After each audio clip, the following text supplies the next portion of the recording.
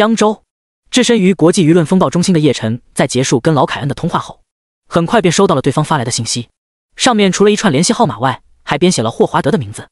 不过叶晨并没有急着去联系那位新晋的国际金融巨头。一阵思索后，想到老凯恩那边暂未确定跟不跟他抄底黄金的计划，以及那位新晋国际金融巨头霍华德要找自己的事儿，再是给李长风去了一通电话，让对方先不急着出手，等自己的指令下达后再动。交代完这些过罢，没多久，天行猎头总裁郑行的电话也打了过来，说是已经将他点名要的那些人进行了飞往江州跟他叶晨进行会面的通知，并且言说对方入夜后就将陆续抵达江州，等待跟他叶晨会面。对此，叶晨则是让郑行进一步去告知对方，让对方先行在腾龙酒店进行下榻集合，晚上九点他前往腾龙酒店会见。在结束跟郑行的电话后，叶晨也开始了跟小家伙凌霄的亲子时间。直至入夜，在家中解决了晚餐后，他才慢条斯理的在唐松的随同中前往腾龙酒店。此时的腾龙酒店中，那些或在魔都燕京广深，或在海外纷纷赶回来的人员，至此还不知道叶晨并不是要找他们单独见面，而是要跟他们集中见面。一个个都在腾龙酒店的客房中琢磨接下来即将进行的会面。叶晨在各种或激动或紧张的情绪下，随着时间来到晚上八点半，他们所在的房门一一被江州腾龙酒店的负责人敲开。并且将他们纷纷领上了作为叶晨私人领地的酒店天台中。渐渐的，那些是为金融财富管理行业的精英开始蒙圈了，因为来的人越来越多了。这什么情况？这是？难不成这是要集中面试？可如果是这样的话，天行猎头的总裁郑行为什么不提前跟他们说？很快，一众精英也无暇再去感叹那犹如人间仙境般的天台环境了，一个个纷纷紧皱起了眉头。无他，在来这之前，他们都是瞒着所在单位。甚至是瞒着身边所有人的。虽然天行猎头的郑行自始至终都没跟他们说过这是面试，也没说过叶董是要挖他们过来为自己服务，只是说了叶董点名想见他们一面。可这在那些精英们心里头，几乎已经肯定叶董是想挖他们过来为自己服务那意思了。最不济也是找他们来进行面试。然而万万没想到的是，除了自己之外，竟然还有一群业界人士也同时出现。这要是面试失败，而又被这群人中的某些人给传出去的话，之后又该如何面对所在单位？甚至是业内风评，纵使由始至终找他们过来的郑行都没说过这是面试，没说过是想挖角他们都好，但只要一传出去，他们固然也是百口莫辩的。随着出现的人越来越多，一众精英们可谓是纷纷已经将各自的担忧写在了脸上，这也使得犹如世外桃源般的腾龙酒店天台中气氛诡异到了极点，一个个纷纷都下意识的各自避开脸，甚至是一些彼此相识的也都心有灵犀的装作不相识。若不是出于即将要面见的人是叶晨，这种情况下。估计早就开撤了。时间的流逝下，很快九点到了，叶晨就跟掐着时间点似的，在唐松这一近身侍卫的陪同中走出直达天台的电梯，让各位久等了哈。没有任何的架子，叶晨无比亲和的笑着喊了一声：“刷刷刷！”那十几位如今在金融界虽称得上是精英，可目前依旧是籍籍无名的主，瞬间纷纷扭转过头。叶董，叶董，叶董！看到叶晨的刹那，仿佛原先的顾忌已经荡然无存。有的只剩下说不出的躁动跟亢奋。嗯，抿嘴微笑点头示意中，叶晨一边从天台中间走去，一边从口袋里掏出一个遥控器按了起来。只见天台中间那块区域的地面突然缓缓向四周收缩，在那十几位精英的惊愕傻眼中，很快便空出了几十平方的坑来。紧接着，坑底下一张一看就知造价不菲，或者可以说是耗资巨大的顶级木质茶台，以及十几张茶椅从地上缓缓升上。看得众人一时间已是不知该如何去形容此刻的惊震了。来，坐，坐下聊。叶晨一马当先的笑着走向茶台，随后从茶台下方的抽屉里拿出了一个茶罐。不知你们当中有没有懂茶的？这罐茶叶说是价值两百多万，不过我对茶道向来都是一窍不通，也品不出是好是坏。你们要是有懂茶的，帮我好好尝尝。落座到主位的叶晨笑说道：“啊，两百多万的茶叶。”一行人先是被这个数字惊得嘴角直抽。但转念想到对方是叶晨，一下子也就释然了。别说是两百多万，就算是两千多万，乃至于两个亿，好像好像也不足为奇。都别愣着了，坐呀！抬头看了看周遭，还是还傻愣着的一行人。叶晨人畜无害的再声道：“好好的，叶董。”众人适才后知后觉的纷纷走过去落座。之后就是叶晨亲自为他们沏茶倒茶的环节了。纵使叶晨的茶艺对于这天价茶叶可以说是极其不专业，可自始至终都没人敢吭声说上半句。倒是一个赛一个受宠若惊不已，同时也完全琢磨不出叶晨找他们的真实意图了。要说是对他们进行面试，看这架势也不像啊。来尝尝。一阵折腾过后，叶晨笑着逐一将已经倒上茶水的茶杯推到了众人的各自面前。谢谢叶董，谢谢叶董，谢谢叶董。此起彼伏的谢声中，叶晨笑而不语的颔首回应。待到十几号人纷纷端起茶水品尝一轮后，叶晨并没有围绕着茶叶的话题去说，而是在对方放下茶杯后，逐个逐个地看着对方，一一说出了他们的名字来：马承安、康永文、赵启明、程竹、苏暖、江云峰。曾天林、潘海棠、于胜男，在十三次的眼神对视中，叶晨逐一说出了对应的十三个人名来。最后看着眼前在前世为自己进行财富管理的这十三人，叶晨一时间思忆如潮的百感交集。前世这十三人可是有着一个外号的“腾龙十三太保”，这称号虽然俗了点，但也反映出了对方十三人在叶晨身边的重要性。诸位，不知我有没有说错你们的名字？打住脑海中泛涌的回忆。叶晨保持着那无比平易近人的笑容，殊不知这一行人早已在受宠若惊中彻底凌乱。如果是一两个或者三四个人的话，叶晨能一口气说出他们的名字来，倒也还说得过去。可十几人，无不都一一在素未谋面的情况下被叶晨一一叫出名字。这，这该说是叶晨的记忆力好，还是说叶晨对他们过于重视？没想到叶董竟然会知道我的名字，这可真是莫大荣幸。一人率先应座，继而其余人也都开始纷纷附和起来。待到彼此的回应坐落后，叶晨适才微笑道：“如果我连你们谁是谁都分不出，那你们觉得你们今晚还会坐在这吗？”话口未完，在对方众人的煞然错愕下，叶晨继续道：“没错，我关注你们很久了，在找你们之前，甚至也已经对你们进行了多番评估，所以我才会让天行猎头的总裁郑行去找你们过来。而之所以让郑行在找你们的时候不去阐明目的，就是为了让你们不用有太多的心理包袱。这一点，我相信你们应该是心里有数的，甚至是我相信。”你们应该都知道我找你们过来的来意。说到这，叶晨又是一笑。只不过，你们应该没想到我跟你们会面的方式不是私下单独，而是集体，是吧？内心被叶晨一语洞穿的众人略有尴尬，但这种尴尬很快便随着有人开声应答而被减缓了。叶董，为什么是我吗？这个问题问得好。如果我说我相信你们有那个成为业界大拿，甚至是成为业界传奇的潜力，你们信吗？叶晨这一回答，霎时间让一行人集体愣住。见状，叶晨端起自己的茶杯喝了一口，而后放过茶杯道：“伊人如雪的云溪月，江湖火锅的于守成，沈瑶律师事务所的沈瑶，天行猎头的郑行，等等等等，这些你们应该都知道吧？云溪月在成为江湖火锅的总裁之前，他只是兰蔻华国区的区域经理而已。江湖火锅的于守成在成为副总裁之前，也不过是一家西洋餐饮公司的无权傀儡总经理。如今享誉律政界的沈瑶，当初也是一个无人问津的十八线小律师。郑行，恩，当下大名鼎鼎的猎头界大拿。”当初一样是一个在业界中下游苦苦挣扎的人物，然而只要我想，我分分钟能将华国那些声名赫赫的职业经理人给找来。只要我想，国内最顶级的律师团队及律所，还有那些顶级的猎头公司，都会争抢着来为我服务，来跟我合作。可无一例外，我都没找他们。原因很简单，那就是相比起找那些已经成名的，或者是找那些有着业界传奇之称的，我更想去打造传奇，更想让那些日后的大拿或传奇从我手底下诞生。同样的，如果我想坐在这儿的将会是国内。甚至是国际上的知名财富管理团队、金融规划团队。但是回到我刚才说的，相比起一步到位，我更想亲手去让那些日后会成为业界顶级的大咖从我手底下诞生。不知我这么说，你们能理解吗？说到最后，叶晨笑看起了众人来。与此同时，怦然加速的心跳也在这十三位男男女女的胸膛中呈现出剧烈起伏来。毫无疑问，叶晨说的这些话让他们似乎意识到了，这并不是自己所想的集体面试。叶董，我能理解您的想法。但是还请恕我直言，金融规划、财富管理绝不同于您以上说的那些。职业经理人找错了，损失可以说相对有限；但是财富管理跟金融规划这些领域中，一旦找错，是极有可能会造成重大损失的。一名三十来岁的男子直视着叶晨的双眼，坦荡道：“哪怕他知道，只要自己顺着叶晨的话去说，摆在自己眼前的将会是一个大到无以形容的机遇，但他还是要将自己的内心与此刻表达出来。所以，你是觉得我找上你们是不理智的行为？”叶晨不置可否地道：“叶董，暂且不去说理智不理智，我想说的是，不管怎么着都好，我是的，我仅代表我，不敢将在座的其他人全都囊括进去。我跟那些业界大佬们绝对是存在差距的，无论是能力还是经验，又或者是阅历上，绝对是还有着一定差距的。”名叫程竹的男子没有躲避叶晨的眼神，正肃着说道，却见叶晨似是对此并没有过多的神情波动，依旧一派犹如春风拂面的淡淡笑意，朝向其他人道：“你们呢？”你们也是这么想的吗？在叶晨的这一座问下，没有沉默者，一一相继表出了自己的内心想法来。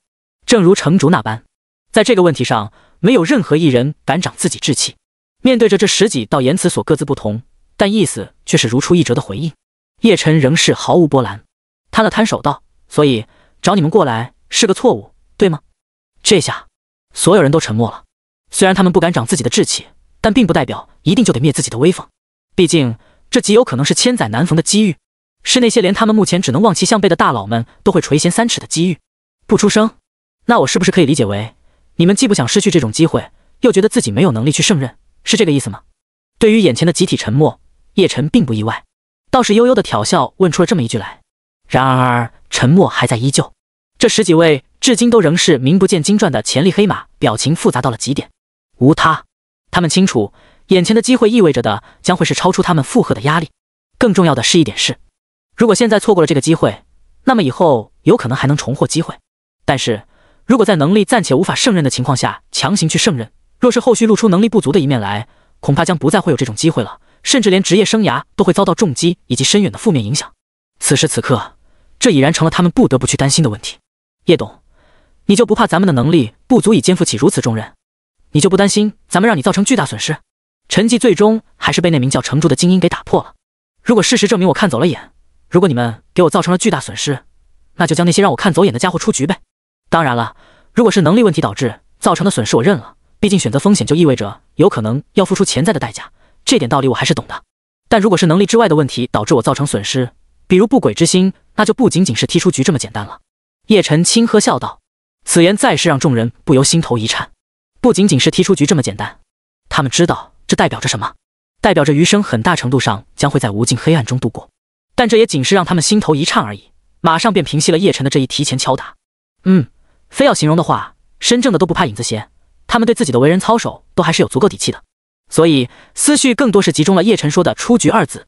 一旦被叶晨踢出局，后续的职业生涯怕是也难免会随之笼罩上一重重难以消弭的阴影。捕捉着众人那不尽相同却又似是如出一辙的神色反应，叶晨笑笑继续道：“我知道你们在担心什么。的确，若是进入我的帐下，届时因为能力问题而被踢出局，这势必会对你们后续的职业生涯带来莫大影响。所以咱们相互之间可以说是在赌。我赌你们。”没有让我看走眼，我赌你们能够在我提供的平台上得以成长起来，叱咤风云。同样的，对你们来说，这也是在赌，赌赢了就是一步登天，赌输了就是未来职业生涯有可能陷入泥潭。叶董，为什么你要选择咱们？即使你是想要亲手去打造业界传奇的诞生都好，比咱们更好的选择也都还是比比皆是的。再是一人开口，验声道：“这个问题就此打住吧。”懒得再去就此多说的叶晨抬起手来摇了摇头，继而道：“现在。”你们只管告诉我，这个机会你们是要还是不要？如果要的话，咱们就开始下个环节；如果不要的话，那就离开。我保证你们今晚出现在这儿的事不会传出去半句，因为若是有谁私自将今晚的事进行传播，那就等于在给我上眼药。话罢，叶晨伸手将一旁正盛开着的花儿给摘下一朵，旋即掰下十三片花瓣，一字在茶台上排开，再是微微笑作，要么拿起花瓣，要么起身离开。呼！最先做出反应的是那名叫苏暖的女子。只见她吐了口气，直接伸手拿起了一片花瓣。叶董，我苏暖赌一把，很好。叶晨满意的笑着点了点头。我成竹跟了。牙关一咬，再是一人道：“既然是可遇不可求，那就搏了。加我一个，似乎没什么好考虑的了。但凡犹豫多一秒，就是对苍天垂青的不尊重。”十三片花瓣全都被拿了起来。有人起身，那也是起身伸手去拿花瓣，到最后都没有一人选择放弃这种机会。待到十三片花瓣悉数被前世的腾龙十三太保拿在手上后，叶晨欣慰的颔首笑了笑。行，既然没人选择离开，那咱们就开始下一个环节。嗯，你们可以理解成这是面试，终极面试。其实并不难，你们每个人只需要各自回答一个问题就够。如果答案能让我满意，那你们将会成为我麾下一员；如果答案无法让我满意，那只能说抱歉。但是为了不让你们白跑一趟，我可以给你们提供去我旗下任何一个企业，包括将在国庆当天挂牌成立的腾龙集团进行面试的机会。对于叶晨提出的面试，众人并不感到意外，毕竟来之前他们就已经想过了。只不过有益于起初时的各种担心，在叶晨这番接连的话下，众人心中也没有那么大的心理负担了，但也依旧是难免那种前所未有的紧张。有问题吗？再次环扫众人一眼，叶晨轻笑道：“无意外。”全都摇头。好，那咱们现在就开始。端起茶杯抿了一口茶水，再次放下杯子的叶晨进入到了面试环节。十三个人，十三个问题。叶晨似是以随机的模式随意抽取进行提问，没有马上公布答案，是否让自己满意的接连发问中，这也让那些进行了回答的人员陷入了无尽忐忑。待到十三人全都问了一遍后，时间已是过了凌晨。清凉夜风的拂面中，每个人的脸上都写满了紧张。在那十三道带着紧张的眼神凝视下，叶晨努努嘴笑了起来，没让我失望。今晚的你们证明了我在现阶段并没有看走眼。回去好好准备一下，你们还有半年的时间。接下来这半年里，好好处理你们所在单位的事，并且从所在单位进行离职。哪怕我这是在挖角，但我也不想你们给老东家留下烂摊子。半年后，也就是十月一号国庆当天，落座在江州新 CBD 时代之城的腾龙集团顶楼将为你们准备，等着你们进行管理及规划的，将是数以千亿计的资产。等着你们进行管理及规划的，将是数以千亿计的资产。虽说知道会是这么回事，但是当叶晨将这句话说出之后，这一行十三人还是止不住的头皮发麻，全身多颤。同时，更为叶晨的如此疯狂之举感到犹如天方夜谭般。数以千亿计的资产财富就这么交由他们进行管理规划，这这要是传出去的话，怕不是全世界都得觉得叶董这绝对是疯了。然而他们并不知道的是，叶晨之所以敢如此疯狂，那是有他自己这位众生者在兜底。在他的计划中，他更多是想亲手栽培前世的腾龙十三太保，而不是一上来就全面放手交予对方。有他在坐镇，有他来引导。想要让这十三太保迅速成长起来，绝对不是难事。待到那一行十三人从腾龙酒店顶楼天台离去时，时间也即将来到凌晨一点了。直至对方悉数离开后，叶晨也才领着唐松从酒店离去。然而车子没行驶多远，李元哥的电话便打了过来。没睡吧？叶晨刚一接通，那头的李元哥便是率先急促开口：“莫，在外头现在倒是你怎么也还没睡？”叶晨轻喝道。你觉得现在我还有睡觉的心思吗？李元哥苦涩道：“老美那边必然会有后续动作在等着的，对方那场新闻发布会绝不会是什么烟雾弹。无论对方手中有没有证据都好，既然他们敢把问题公然摆到台上，并且将矛头直指腾龙半导体科技跟你，就意味着对方已经有了全盘计划。问题是你没心思睡觉，就能让老美按住自己的爪子吗？”叶晨打趣笑道：“都什么时候了，你还在跟我开玩笑扯犊子呢？”李元哥道。叶晨再是淡淡一笑：“天塌不下来的。”问题是你得让我知道你准备打算怎么顶住，不让天塌下来才行啊！别说你打算将一切问题都交给官方来帮咱们解决，先不说官方能不能帮咱们擦好屁股，就算能给咱们擦好，官方也都得付出惨重代价，所以这绝非什么上策。李元哥道：“你只管知道天塌不下来就行，至于为什么他不下来，你犯不着过于去紧张操心。对外，你只管将一切问题推到我身上就好。”叶晨轻描淡写着，如似说着什么不足为道的事儿，说的容易，作为总裁跟董事。你让我把心放宽，我如何做得到啊？李元哥的话声中尽显无奈苦涩。殊不知叶晨闻言顿时沉默起来，通话中也陷入了无声沉寂，似是知道自己的言语表达有些过了，也忽略彼此的身份所在了。李元哥旋即带着歉意打破沉寂，抱歉，主要是我紧张过头了。一想到老美那种狂轰乱炸式的围剿制裁，我就有些坐不住。不仅是想到腾龙半导体科技以及 TL 芯片所要面对的那些，还有你旗下其他企业，包括你自身要面对的那些。讲真，老美真要丧心病狂起来的话，怕是等着咱们的将是寸步难行。你大半夜给我打电话，该不会是特意是为了说这些吧？没去回应李元哥说的这些，叶晨轻声淡道：“我……呼。”李元哥吐了口气，这才进入正题：“老童想跟你开个视频，不用，我直接过去腾龙半导体科技的研发基地。”叶晨直言道。不曾想李元哥却犹是听到了什么不可思议的事儿般。你说什么？无奈一叹，叶晨重复一声。我去一趟腾龙半导体科技的研发基地，不是疯了吗？这是如此节骨眼，你这就是如此节骨眼才要镇定泰然，主打就是一个让所有人始料未及。叶晨道，灯下黑，李元哥怔住，继而紧蹙起眉头。出于对叶晨的了解，他清楚，当叶晨把话说到这份上，那就代表绝对不是他能劝阻的了。你打算什么时候过来？明天。叶晨想也不想的当机立断道，随后再又补充一句：明天中午起飞出发，下午到。真的确定要进行如此行程？李元哥还是忍不住的多问了这么一声。没什么不确定的，说句让你觉得狂妄的话，就这场由美利坚官方新闻发布会所引发的风波，也就你们当成一回事而已，在我这没那么多可担心的。叶晨道。话罢，在李元哥欲想应声之际，叶晨提前阻止了他。还有别的事没？没别的事，咱们明天见。行，明天见。见叶晨的态度所在，李元哥只好作罢。通话结束，防弹红旗里。驾驶座的唐松看了一眼后视镜，叶董，明天中午入京吗？嗯。叶晨几笑揉着太阳穴应了一声。唐松欲言又止，一阵踌躇后还是道：叶董，虽然我只知道很多事不该是我关心过问的，可我还是想多嘴问问，这次事件能平稳着陆吗？你认为呢？叶晨笑了笑，我只知道无论事实如何，假如这次能够平稳着陆。这将是对老美帝国际威望是一次重创。唐松无比肃然的正声道。所以，叶晨的笑容更甚。我相信华国的国运。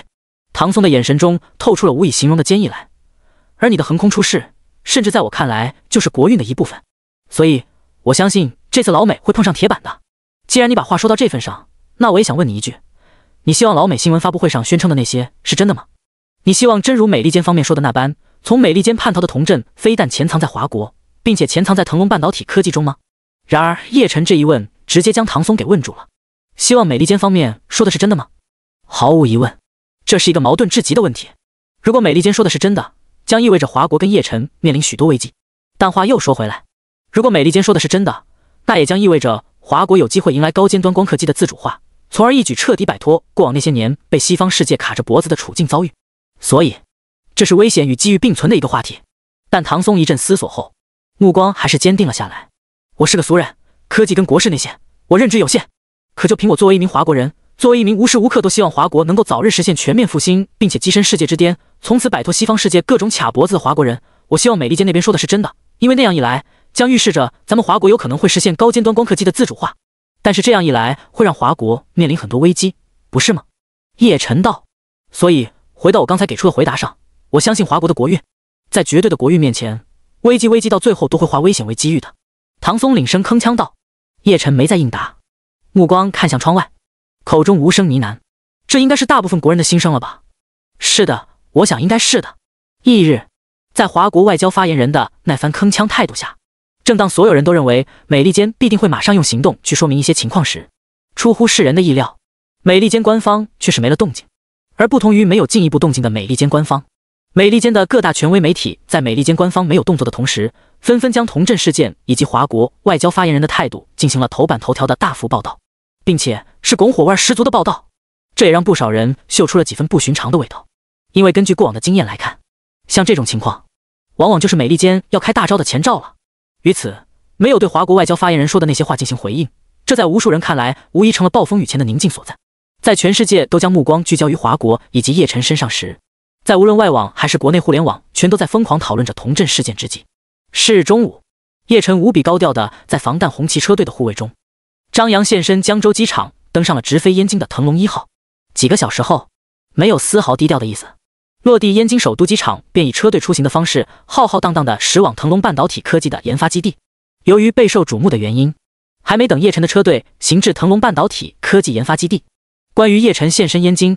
高调前往腾龙半导体研发基地的相关话题以及相关照片，便已是满世界飞了。我操，老爷这是要干嘛？这种节骨眼，他还跑到风口浪尖的腾龙半导体研发基地去？呃，什么情况？叶晨这是想以这种方式去对全世界聚焦的童振事件做出回应？靠，看不懂了。童振究竟是不是真的在腾龙半导体科技的研发基地中啊？弱弱的分析几句，勿喷。西方世界大张旗鼓的纷纷报道，童振极有可能前身腾龙半导体。叶晨这就高调张扬的动身前往腾龙半导体科技的科研基地，这似乎只有两个可能性：一个是叶晨借此来表达压根不拿老美的通牒威胁当回事；一个是用这种方式来自证清白。毕竟在全世界都聚焦的情况下，若是童振珍藏在腾龙半导体科技的研发基地中，如此节骨眼下肯定不会选择过去才对。那些说分析的，滚一边去吧！特么什么逻辑？这算哪门子的自证清白？真要自证清白的话，就大大方方的去回应人美利坚官方了。我看叶晨就是想打此地无银三百两的主意。如果叶晨真的是收编了童振，那就真的是太狗了。童振毕竟是美籍，而且还是被美利坚早早就发出全球通缉的叛徒。这种背景下，他敢收编童振，那就是在坑华国，就是在给美帝递刀子。哎，若是最后真被证实童振前身华国，并且是前身腾龙半导体科技的话，那么无论美利坚发动什么对华手段都不冤，甚至可以说是华国自找的。说叶晨收编童振是在坑华国的那些人，脑子有坑是吗？忘了腾龙半导体科技是跟中科院挂钩合作搞研发的。若是童振真在腾龙半导体科技里面，那华国高层百分之百是知情的，并且还扮演了极其重要的角色。所以别一天天老说人美利坚阴谋论，想想自己都干了些什么吧。已然不同于童振事件刚出来时那般。如今，不少暗戳戳引导舆论方向的言论开始到处冒涌，显而易见，水军反贼们开始发力了。连带着不少华国的媒体也纷纷用上各种春秋笔法来阴阳怪气童振事件。但对于这些，叶晨暂且仍是一概不知。不过不知归不知，事实上他也早就意料到了舆论的发展方向。腾龙半导体科技的研发基地，车队浩浩荡荡的驶了进去。在总裁及执行董事李元歌的迎接中，叶晨直接让唐松等人原地等着，随后跟李元歌往研发中心的大楼走了进去。刚才等你过来时，我到网上看了一眼，你这番高调现身燕京，并且最终目的地极为明显的出行，已经在网上沸沸扬扬了。不出意外，那些媒体记者们估计很快会跟嗅到血腥的鲨鱼般，想方设法对你进行围追堵截式的采访了。李元歌一边带着叶晨走着，一边道：“要的就是这个效果，不现身说法肯定是不适合的，而我又总不能亲自召开一场新闻发布会吧？”那样一来，太给对方脸了。叶晨淡淡应道：“所以，你打算接受那些媒体记者的采访？”李元歌错愕道：“省得让你承受太多。”叶晨道：“你这矮不是？万一有人趁这个机会搞什么袭击的话，你就不考虑后果？”李元歌急了：“晚点从这儿离开后，我会前往咱们在燕京的腾龙酒店。一旦那些媒体记者追到腾龙酒店，就得接受安检了。如此一来，再加上有唐松他们的贴身保护，我要是还能出意外的话，也就是命的事了。”叶晨不以为然。我倒是觉得你没必要去搞这一出。既然不想回应，那就不用回应了。李元歌道：“就像你说的，总不能什么都推给的官方，让他们来给我擦屁股。既然官方已经为我出面了，我多多少少也得去做点什么配合一下才行。”说着说着，一路疾行的两人也通过层层严密的通行验证，来到了研发大楼的中心区域。叶董、李总，叶董、李总，叶董、李总。随着叶晨一现身，研发中心的人员纷纷喊道。不过脸上或多或少都因为外界的事儿导致现出了一些担忧。虽然除了实验室之外，知道童振存在的人寥寥无几，可想到美利坚一贯以来的行事做派，仍是无比担心腾龙半导体科技将会迎来一定程度的黑暗。捕捉着那些担忧的脸色，即使知道手下这些工作人员的担心所在，但叶晨还是没去进行什么安抚解释，全程都是保持着那悠然笑意，会进行点头挥手回应。很快，在李元歌的率部下，两人进入了实验区的区域。再次于那一阵阵此起彼伏的公喊声下，叶晨跟李元歌走入了那间直通童振住处的电梯，随后出现在了童振于研发基地里头的家中。来了，喝一杯不？叶晨刚从电梯里走出，童振的声音立马传了过来。叶晨转头看去，屋内能够一眼看到电梯口的吧台处，正在冲泡咖啡的童振顿即笑问道：“比起上次叶晨见到他时，要更加憔悴了。”行，给我来一杯。纵使平时并不怎么喝咖啡，可此情此景下。叶晨还是笑道：“也给我来一杯。”一旁的李元歌跟上几笑附和。妥，稍等，自个坐。童振点头应坐，而叶晨跟李元歌也不客气，自行走到沙发那边落坐下来。不多时，童振用托盘托着三杯咖啡走了过来。这么急着找我，怎么个情况？没去废话太多，抿了一口苦涩但回香指数超高的咖啡后，叶晨笑看起了面容憔悴、胡子拉碴的童振：“你竟然还笑得出来？”童振放下手中的咖啡杯。苦涩摇头道：“怎么着？我一哭，老美就将这事给翻篇不成吗？嗯，就算是那样，我也不哭。”叶晨开起玩笑来：“还记得我之前跟你说过，直觉告诉我美利坚很快就会找到我吗？这直觉真他妈准！”一生中爆粗次数数得过来的童振难得的苦笑骂了一声：“就不能是美利坚那边在炸咱们？该说不说，他们要是手上有实质证据的话，就不会像现在这样仅停留在嘴上了。”叶晨不以为意：“不，有没有实质证据对他们而言？”可以说重要，也可以说不重要。很好的例子，原来的华为那边，他们自始至终都没有任何实质证据，但事实不也是华为被他们要了半条命吗？同样的，到了你这儿也一样。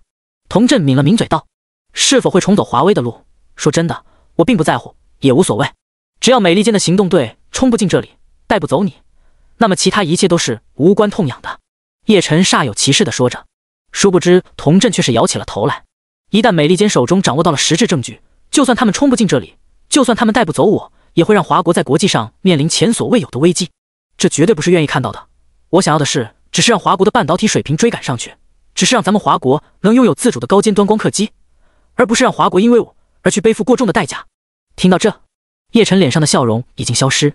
所以，我已经将后续的研发工作给出了具体方向以及应对各种问题时的方案，并且也跟中科院那边的泰斗们进行了一轮又一轮的探讨及交接。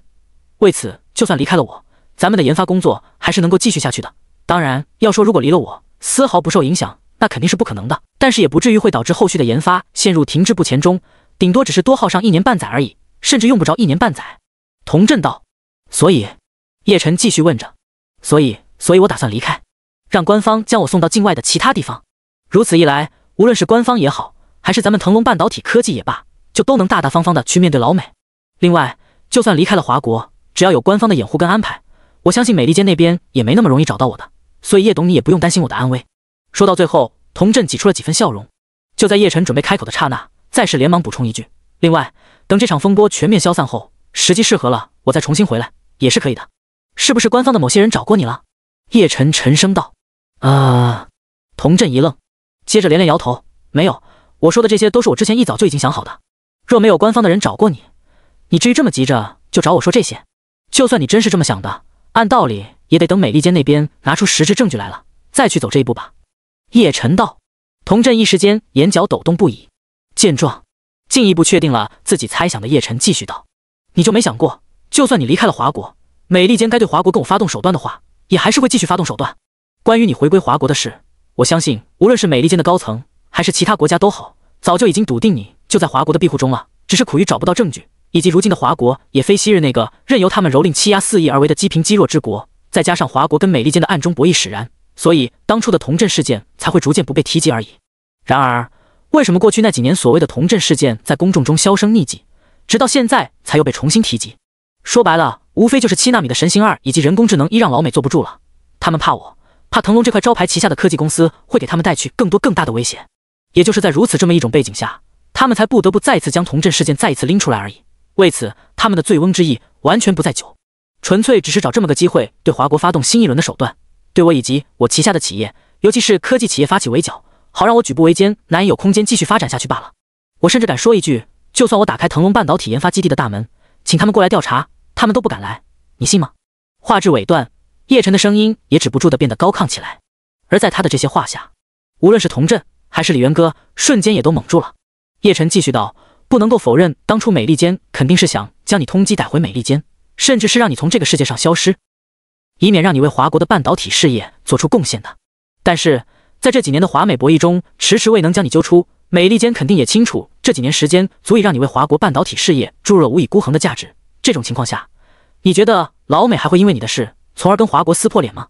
显然是不可能的，因为若是会的话，他们早就走那一步了，而不至于到今时今日。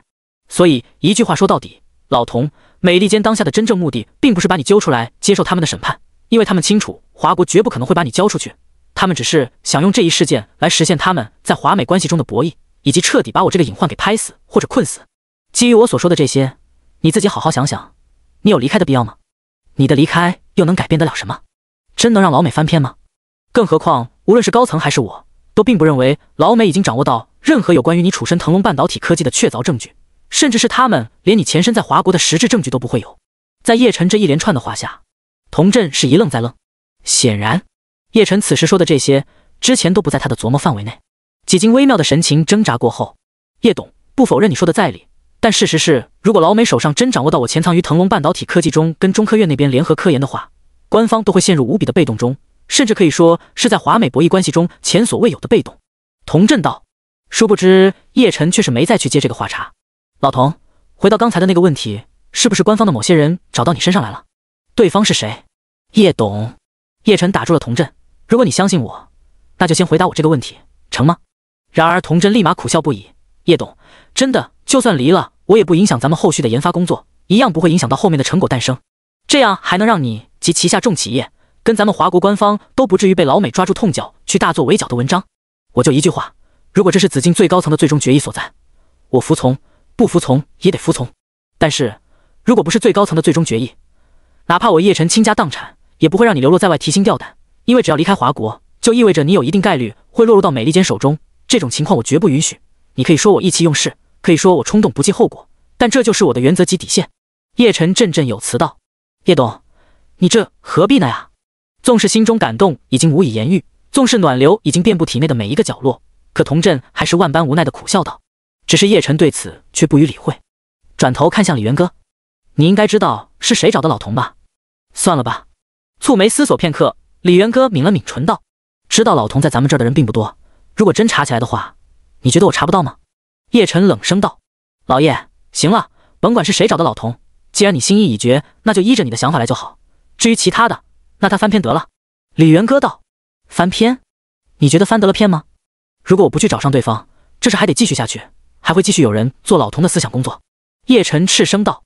旋即话锋一转，再又说着，还是说连你也认为老童离开咱们这儿，离开华国才会是最好的结果？我必须得承认，基于大局为重这四个字，这是最稳妥的方法。没有去回避自己的内心，迎着叶晨的直视，李元歌硬着头皮道。不曾想叶晨迎声立即怒喝：“狗屁的大局为重，狗屁的最稳妥方法！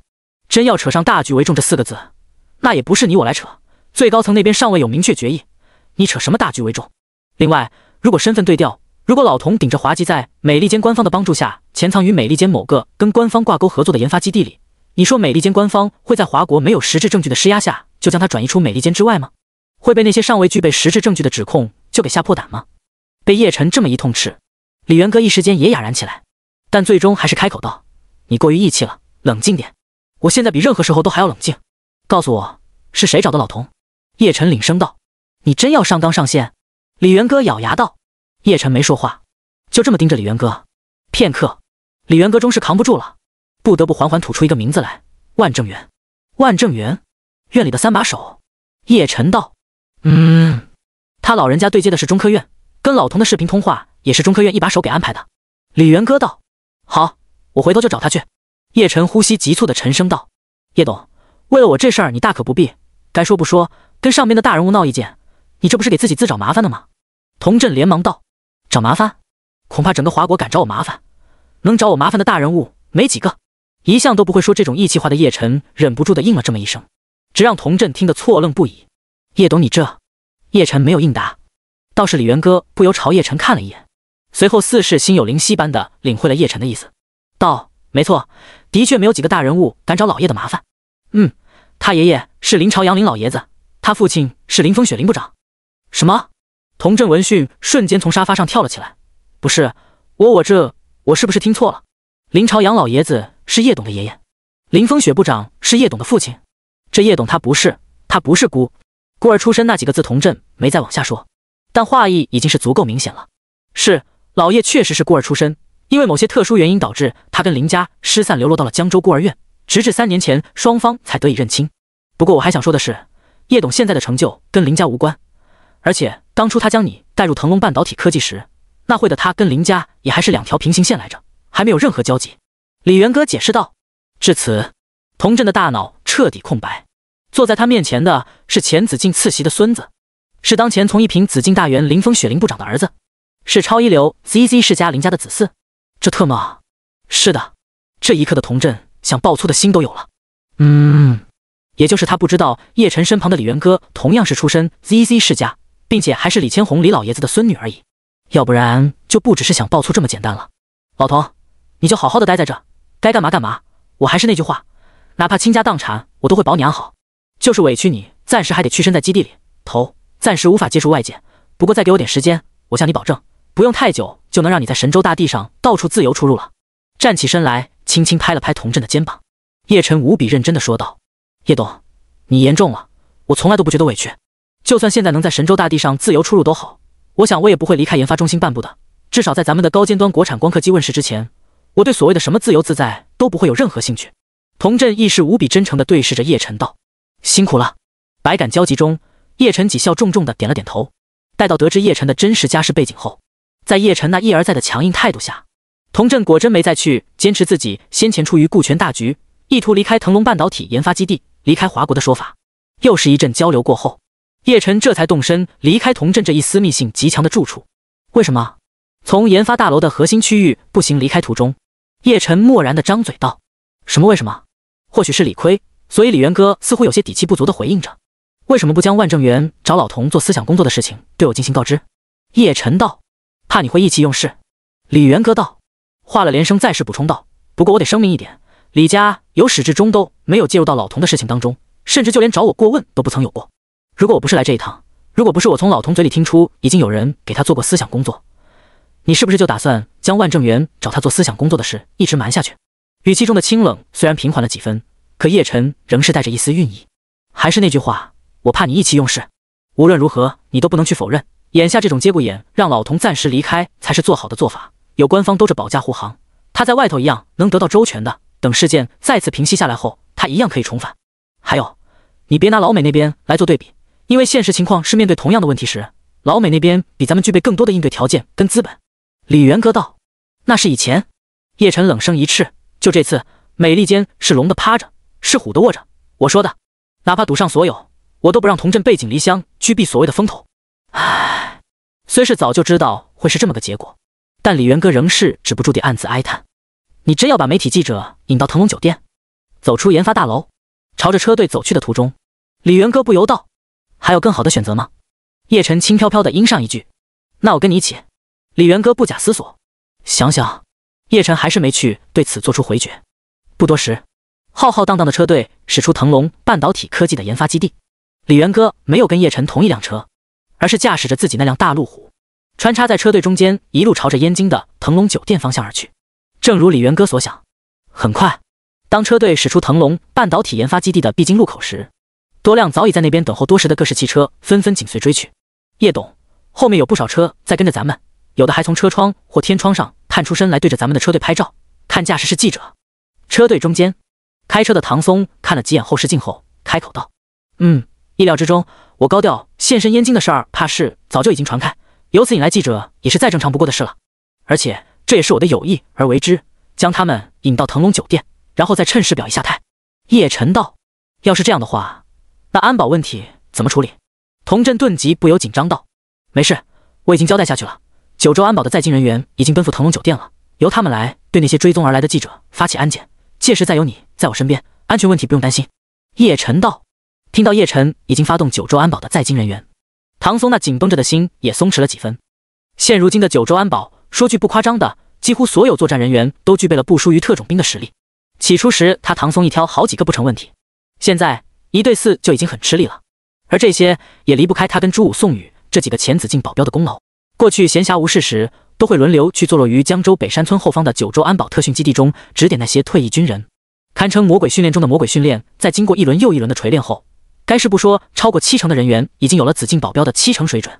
如此队伍在暗中保驾护航，再配合他们这些近身侍卫，安全问题无疑是具备最大程度上的保障了。随着唐松在点头之余不再声言，正当叶晨准备开口让他放点轻音乐时，电话突然响起：“老爷子，喂，老爷子！”叶晨连忙接通，笑喊一声：“看来你小子现在很轻松，没背负什么压力啊。”那头的老爷子林朝阳无比慈爱的笑说道。兵来将挡，水来土掩，再加上有官方给我兜底撑腰，我还能有什么压力？叶晨云淡风轻的呵笑着。不过那头的老爷子显然不想就这些事儿在电话里说太多。哈哈，你小子的心理素质倒是真没让爷爷失望啊。行，那什么，既然入京了，那就回家陪我这个老头子吃顿晚饭，如何？老爷子，恐怕陪您吃晚饭够呛了。我刚从腾龙半导体的研发基地离开，现在可是被一大群媒体记者紧追不放呢。我打算将他们引到腾龙酒店。然后再趁势针对当前事件对外表个态。叶晨讪讪道：“这样啊。”林朝阳稍顿了下：“安保有保障吗？”“嗯，这您老放心，我已经提前交代下去了。等处理完这边的事后，我再看回不回去。”叶晨道：“也行，那你追着点，没去对叶晨进行什么说教。”林朝阳轻笑应声。叶晨话题一转：“对了，老爷子，本来我也准备找您说个事的。既然您老把电话打过来了，那我也顺便跟您张嘴得了。”“哦，怎么？”林朝阳道。院里的三把手是万正元吧？我想跟他见一面，您看方不方便帮我安排一下？叶晨道：“万正元，你找他干什么？”老爷子错愕道：“没，就跟他聊聊。行，回头安排妥当后，我再给你打电话。”也不知是不是出于对叶晨的了解所在，林朝阳并没进行追问，利索的应了下来。在叶晨那大咧的言谢以及林朝阳的笑骂声中，爷孙俩没再往下多说。挂断电话后的叶晨也没了听音乐的心思，靠着座椅闭目养神起来。车队后方，那些媒体记者的车辆仍在紧紧相随，一路浩浩荡荡的朝着腾龙酒店的方向疾驰而去。坐落于燕京朝阳的腾龙酒店中，此时九州安保的在京人员已经联合酒店方面做足安保方面的准备。待到叶晨的车队驶入后，安保人员立即将后方一众媒体记者的车辆给拦了下来。为什么拦下咱们？是你们腾龙酒店不对外开放了吗？车窗降下，首当其冲的车辆里，一名记者着急万分的喊问道。如果不能及时赶过去对叶晨发起采访，怕是连见叶晨一面的机会都不会有了。想到顿了这么老半天，眼看机会来了，却被拦下，可想情绪多少有些不好控制了。好在九州安保的人员并未跟对方多做计较，知道你们是记者，知道你们想采访叶董，但为了叶董的人身安全，咱们需要在你们对叶董进行采访前进行相关安检。为首的九州安保人员道：“意思是叶董会等咱们过去对他开展采访。”那名记者的情绪瞬间消散，可以这么理解。一声应罢，那名九州安保人员回头看了一眼，在看到叶晨已经抵达酒店大门，并且迈步进入后。这才给拦下的车辆做出放行，而后将一众停好车的媒体记者们引向酒店大门口进行一系列的安检，确认对方身上没有携带管制器械跟危险物品了，才在严加看管中把诸多媒体记者带往酒店大堂的偏厅。已是在等着的叶晨一看到众多记者顿时蜂拥而来，也没摆出多余的架子，直接朝对方走了过去。话说你们的毅力还真是可歌可泣啊，一路蹲守一路追随。如果今天没让你们如愿采访到的话，你们是不是也不打算罢休？叶晨挂着略显冷峻的面容，故作出一副不满的口吻来。感谢叶董在百忙中给咱们这个机会。一名善于表面功夫的资深记者连忙高声道。与此同时，在九州安保人员跟叶晨一众出行护卫组成的安保圈中，诸多记者也纷纷扑了过去。时间有限，抓紧问吧。没去对那声感谢叶晨在白忙中给机会做出回应。叶晨默然淡道。然而有了叶晨的这一发话，众记者立马争先恐后的架起长枪短炮，急忙发问。叶董，您刚才去腾龙半导体科技的研发基地是干嘛去的？叶董，您对美利坚官方指控腾龙半导体科技收留了被美利坚发出红色通缉令童振是怎么个看法？叶董，童振真的是在你们腾龙半导体科技中搞光刻机研发吗？叶董，针对于外交那边的强硬表态，你有没有什么想说的？叶董，美利坚方面有没有跟您的腾龙半导体科技进行过沟通？叶董，如果真如美利坚方面所指控的那样，您会将童振交出去吗？叶董，众所周知，腾龙半导体科技有跟中科院进行挂钩合作，您担心童振事件会牵连到咱们官方吗？叶董，叶董，也顾不得叶晨是否能够在杂乱中听清每一条提问，似是生怕自己没有提问的机会般。众记者纷纷七嘴八舌的争先恐后着，其中不乏许多尖锐的挖坑式回答。于此不难看出，这些这些记者里头着实有不少是憋着一肚子坏水的。不过这也是不难理解的，毕竟叶晨旗下的腾龙新闻。如今已是成了业界公敌，腾龙新闻更是给新闻媒体界带去了各种各样堪称全面的冲击。如此背景下，对于腾龙新闻的金主大 boss，各大媒体难免早就已经咬牙切齿。很简单的道理，如果没有叶晨的发话，如果不是叶晨的态度所在，腾龙新闻敢成为业界公敌吗？腾龙新闻又敢去把业界的更大新闻媒体架到火架上烤吗？基于这种种原因，那些记者们的使坏心思无疑也就不难理解了。一片嘈杂过后，叶晨淡淡一笑，问完了吗？没问完的继续问，我一次性回答所有问题。回答完之后，采访就立即结束，不再进行二次回答。一次性回答，就刚才那些多的提问，你确定你都听进去了？可以想到叶晨素来说一不二的行事做派，一些没来得及提问，或者是感觉问的不够的记者，顿时也顾不得那么多了，再一次纷纷争先作问，直至提问声彻底消停后，叶晨才缓缓开口。看来群众当中是真的有坏人啊！就你们刚才那一连串的提问中。不少问题都揣着主观恶意，或是憋着一肚子的坏水啊！在叶晨的冷笑声中，不少记者心头猛然咯噔，而叶晨的话声也在这一间隙里继续响起。不过没事，甭管你们是带着善意也好，还是带着恶意也罢，既然我给你们提问的机会，那就肯定不会去回避。我知道现在社会各界，包括海内外，都在关注着这次的事件，尤其是咱们国内的网络上，更是全民都在聚焦着此事。为此，在美利坚方面的指控是否未实这个问题上，说真的。我的回应似乎并不重要，因为摆在眼前很明显的是，如果我说童振并不在腾龙半导体科技，美利坚官方会信吗？所以问题的根本并不在于我如何去面对美利坚官方，而是在于美利坚官方能不能掏出可以佐证他们指控内容的证据来。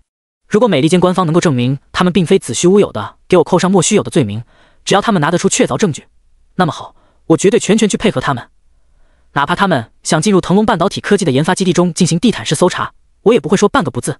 倘若他们觉得让他们掏出确凿证据有点难为他们，那么也没事。只要他们想搜，就算没有证据，我也可以敞开腾龙半导体科技的大门，让他们来搜。但凡他们能够搜出任何与童振有关的痕迹，我叶晨跟腾龙半导体科技都愿意去接受美利坚官方所指控的罪名，以及愿意承担所有相应的后果。听到这，一众记者瞬间大脑宕机的狂瞪起双眼来。这，这说的什么？就算美利坚空口无凭都好，只要对方想搜。也可以敞开大门，让他们来搜。然而，莫等他们缓过来，叶晨冷声一笑，话声一转：“但是，但是，我希望在日后华国对美利坚企业做出指控时，美利坚官方也能配合华国官方提供对等的友好协助。换而言之，假如华国对美企做出任何指控，华国官方随时都能发起进驻调查。如果美利坚能够承诺保证，并且跟华国官方签订相关协议，那么哪怕他们拿不出任何证据都好，我腾龙半导体科技接受一切调查。而且我还把话放在这，就如我先前所说，只要美利坚官方能找出童振在腾龙半导体科技研发基地中的任何蛛丝马迹，我叶晨及腾龙半导体科技愿意为之承担一切后果。掷地有声的高亢中，叶晨微微一顿。至于说你们当中有人刚才问到我对华国外交针对此事件的强硬态度有何看法？我想说，脑子得有多大的坑，才能问出这种白痴白痴问题来？哪个企业会不希望能够获得官方的支持力挺？哪家企业会排斥官方的强力撑腰？所以这种问题有问的必要吗？不过既然有人白痴到连这种问题都拿来问，那我也就不妨去对这些白痴问题进行回应。那就是我很感激，也很感谢，更多是感恩官方对我的支持力挺，这让我为我自己身为一名华国人，为我自己生在红旗下，长在春风里而感到万分骄傲、自豪与庆幸。嗯。由此，我只想说上一句：此生不悔入华夏，来世还在种花家。回到你们刚才的提问，我似乎听到有人问我去腾龙半导体科技的研发基地干嘛是吧？我作为腾龙半导体科技的董事长，我去一趟腾龙半导体科技的研发基地，不是很正常，也很应该吗？这又有什么问题？难不成就因为美利坚对我发出窝藏美籍通缉犯的指控，我就不能踏足我斥巨资打造的研发基地了？叶晨讥讽嘲弄的笑了起来。其实有关童振的问题，说白了，其实很简单。只要美利坚能够拿出证据去说明他们的指控是事实所在，那么就按照一切相关的程序来走。如果没有证据，那就像我刚才说的那般，只要他们能够接受对等协议，我随时欢迎他们登门。如果想像之前对付华为那般，以莫须有的罪名扣帽子来对付我，叶晨不禁摇头一笑。那我就只能是想办法去水来土掩，兵来将挡了。毕竟我总不能左右到他们想去制裁我的意志，不是吗？说完这些，叶晨摊了摊手。好了，该说的不该说的，通通都说了。今天就到此为止，散了吧。说着，叶晨就要扭身走。叶董，你还没正面回答至关重要的一个问题，那就是童振究竟在不在腾龙半导体科技？你们腾龙半导体科技有没有对童振进行了收留？一位记者急声大喊。刚一扭身准备走的叶晨倏然顿住，缓缓回过身。不知为何，这一刹那间，一众记者全都没来由的在叶晨那骤然释放出来的气场中紧屏起了呼吸来。我刚才的回答还不够。对吗？直视着那名记者，叶晨领声道：“我我。”在叶晨的眼神下，那名记者一时间说不出话来，支吾了几声后，还是硬着头皮道：“我相信所有人都希望能够从你口中听到一个明确的回答，是不是我只要回应腾龙半导体科技自始至终都跟童振没有任何交集关联，美利坚官方就会收回他们的指控，并且向我道歉？”叶晨问道。这那名记者哑然：“如果不是，我为什么要去回答你这个问题？如果这次我去回应了？”那么从今往后，无论是美利坚还是其他国家都好，只要他们对我做出指控，就算对方空口无凭没有证据，我都要去向全世界正面回应，见不见？冷冷嗤笑一声，叶晨不再予以任何搭理的转身往电梯方向走了起来。以唐松为首的几名安保护卫立马紧随而去，由始至终都没有张嘴开过声，像极了透明人的李元歌也连忙跟上去。后方各路记者就这么怔怔地看着叶晨离去。但很快在回过神后，便匆匆转身往外做鸟兽散。虽说叶晨今天的这番回应远没有他们想象中的那么重磅，甚至不少问题还选择了以那种避重就轻的方式去进行回应，可在叶晨主动提出可以敞开大门让美利坚上门调查的这一点上，无疑还是能让他们大做文章的。再加上就叶晨说的这一系列，潜在着不少能让他们以春秋笔法来进行断章取义的空间。想到这一点，那些媒体记者已是迫不及待地想着去收割头查流量了。电梯里。看着叶晨在电梯中被倒映出来的镜像，李元哥不由正声道：“你这出以进为退，属实让我有点意外。就叶晨刚才所表现出来的，讲真，若不是他清楚真实情况所在，他都得认为童振肯定不是在腾龙半导体科技，肯定的坚定美利坚这是在扣莫须有的罪名帽子了，没得选择，不是吗？”叶晨无奈摇了摇头。国内的新闻界因为腾龙新闻的原因，现在可不惯着你了，悠着点他们，唯恐天下不乱的拱火，给你进行断章取义。李元哥想了想道：“我就等着他们来这一出，然后再给沈瑶那边指派点任务。早就想收拾一下国内那些歪屁股的不良媒体，这次就看哪家顶枪口。”叶晨冷声道。就在李元哥想要开口接茬时，叶晨转移话题道：“刚才在路上，老爷子给我打了个电话，我顺便让他帮我安排一下跟万正元见面的事儿，你要掺和吗？”“呃，你来真的？真要去跟院里的三把手上纲上线？”李元歌急声道：“童振这件事没这么快就过去的，如果不去表下态，不去做点什么，那边还得没完没了。别忘了，朝中那些怕事的软蛋，素来都是不少的。”叶晨道：“虽然不太赞成叶晨的想法，可李元歌稍作沉思后，还是只能道：倒是注意着点分寸。万正元再怎么说都是院里的三把手。说实话，如果不是林家子嗣这重身份的使然，叶晨绝对不敢去找院里的三把手找说法。毕竟没有林家的身份光环。”他说白了就是一个纯粹到不能再纯粹的商人。也许在童镇的问题上，他有多种解决方法。可不管有再多的解决方法都好，院里三把手不，别说是院里的三把手，再往下几把手，也绝不是他能去他敢去刚的。不过现在有了林家子嗣的身份在，因为林家子嗣的身份，让他在紫禁朝堂中具备了一定分量，甚至连老总都出于青睐，欣赏几次召见过他。紫禁智囊团的第一国士更是将他视为接班人。基于这种种，再说句不带夸张的，院里三把手的身份级别，即使摆在那。但对他而言，他背后的资本足以让他不去将对方当成一回事了。为此，叶晨并没有去理会李元歌的那声悠着来。走出电梯的那刻，王卫道：“怎么，你是打算在这儿跟我待下去吗？”被叶晨如是一说，李元歌这才后知后觉的反应过来，霎时间多少有些尴尬了。好在这位天之娇女马上便有了化解之道。都说你在燕京、魔都、江州、广深等多家城市的腾龙酒店顶楼天台进行了世外桃源般的设计打造，并且将其作为自己的私人领地。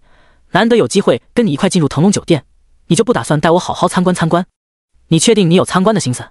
叶晨不置可否的打趣一声道：“怎么就没心思了？那些摊子连你都不急，我又还有什么可急的？再说，就算我再急，那也是干着急，在根本无法左右你的决定想法这种背景下，如何解决那些问题，显然已经是超出我能力范畴的了。”李元歌道：“行，那就随便参观。”叶晨摇头，给出了一道灿烂笑容，而老爷子林朝阳的电话。也恰在这时打了过来，叶晨随手接通道：“喂，老爷子，小陈啊，万正元那边已经给你约好了，我让他晚上八点到咱们林家四合院来。”林朝阳的话声传来：“在林家四合院？不是，他知道我的家室了。”叶晨正声道：“如果说万正元知道自己的家室所在，而在尚未跟自己进行沟通的情况下，私自给童振做思想工作，那就属实有点说不过去了。他应该还不知道，但也是时候知道了。”林朝阳道：“是时候知道了。”叶晨再次一愣。想必你是因为童振事件的风波才想着要跟他见面，对吧？如果你的身份不被他所知，你觉得你能有多少话语权？他毕竟是院里的三把手，你觉得仅凭你的商人身份，能在院里三把手的面前会有多大分量？林朝阳无比睿智的轻笑道，随后不等叶晨应声，行了，晚饭你回不回来都没事，八点前回到家就行了，可别让对方等你。对方再怎么说都是院里的三把手。嗯，明白。叶晨这边刚挂断电话，李元哥便就凑了过来，怎么着？老爷子约了万正元八点来林家四合院，让我八点前赶回去。叶晨道，在你们林家四合院。李元哥若有所思的笑了笑，看来我也不用担心你过于意气用事，不顾分寸了。你要过去吗？想起李元哥先前还未回答自己问的那声你要掺和吗？叶晨再问一遍，去见见吧。万正元跟咱们老李家关系不错的。李元哥点头道，话罢不待叶晨接茬，连声再说，现在距离八点没多少时间了，简单去吃个饭，再回你们林家四合院吧。不参观了。叶晨故作揶揄的笑了笑，感受一下，知道是这么回事就行了。滴水不漏的应上这么一句。李元歌迈步往电梯方向走了起来。在叶晨跟李元歌秉着就近原则于腾龙酒店的西餐厅解决晚餐的同时，有关叶晨的采访内容也纷纷被各大媒体进行了争先报道。如李元歌所料，将春秋笔法运用到炉火纯青的各种掐头去尾、断章取义中，叶晨再一次置身在了舆论的风口浪尖上。与之相对的，经叶晨口中说出的对等协议。更是迅速蔓延至全球互联网，在那些唯恐天下不乱的推波助澜中，渐渐也被一些别有用心之人用掐头去尾的方式带起了一波又一波的节奏来。就好比官方外交发言人那边已经明明做出了力挺支持的态度，叶晨这边却公然表出愿意接受美利坚方面的上门调查，如此行为纯属背刺官方，纯属辜负了官方的软蛋行为，等等等等。一时间，接连多条跟叶晨这出采访相关的话题相继冲上了热搜。晚上七点刚过。从腾龙酒店赶往林家四合院的途中，叶晨相继接到了张景山、李长风、赵继伟、王少聪等人的来电过问，无一例外都是围绕着叶晨对记者说的那些。紧随其后的是律师沈瑶，沈大律师一打眼就知道百分之百是那些媒体试图以春秋笔法进行断章取义的引导舆论风向。电话中直接就问叶晨要不要搜集材料对那些媒体发起起诉。对此，叶晨当即表出了自己的态度来：起诉绝对是要起诉的，并且还是起诉到底的那种。但起诉的时机不是现在，而是等这场风波开始平息时，再对那些媒体发起清算。看我就说那些媒体记者肯定不会放过给你添乱的机会的。没开自己那辆大路虎，选择跟叶晨一并同行于防弹汽车中的李元哥，待到叶晨挂断沈瑶的电话后，无奈的苦笑起来。趁这个计划，好好收拾一下那些媒体，给他们点颜色瞧瞧，本就是我的目的所在。这一次要是能够狠狠收拾他们一顿，后续他们的公信力跟权威性就得进一步大打折扣了。叶晨云淡风轻的摇头，硬说着。说起来，国内的媒体界还真是烂透了。这种情况下，不为咱们发声倒也罢了，还各种带节奏，唯恐天下不乱的给咱们添乱，甚至可以说是上升到了给官方添乱。放眼全世界，也算是够奇葩的了。李元哥不禁哀叹着感慨道：“所以就我说的，国内的新闻媒体已经成了必须要去进行肃清整顿的祸患了。”叶晨蠕动着喉咙，神色先有的肃然道。说话间，由唐松驾驶的防弹汽车也驶入了四九城，来到了林家四合院外。林老。不知究竟是何方神圣，才能让您老亲自把我邀约到您这儿来呢？四合院的偏厅中，一名五十多岁的中年人坐姿文雅地落坐在单人沙发上，脸上自始至终都挂着敬意与淡淡笑容。虽说自己去年晋升为院里的三把手，但清楚这也是自己仕途终点所在的万正元心里头知道，自己在林朝阳林老这位曾经的紫禁次席、院里一把手面前完全不够看的。即便说对方已经退下来那么些年了，可庞大的林家依旧保有着庞大到足以让他喘不过气的能量。所以此时的笑容更多是带着陪笑的意思在里头，待会你就知道了。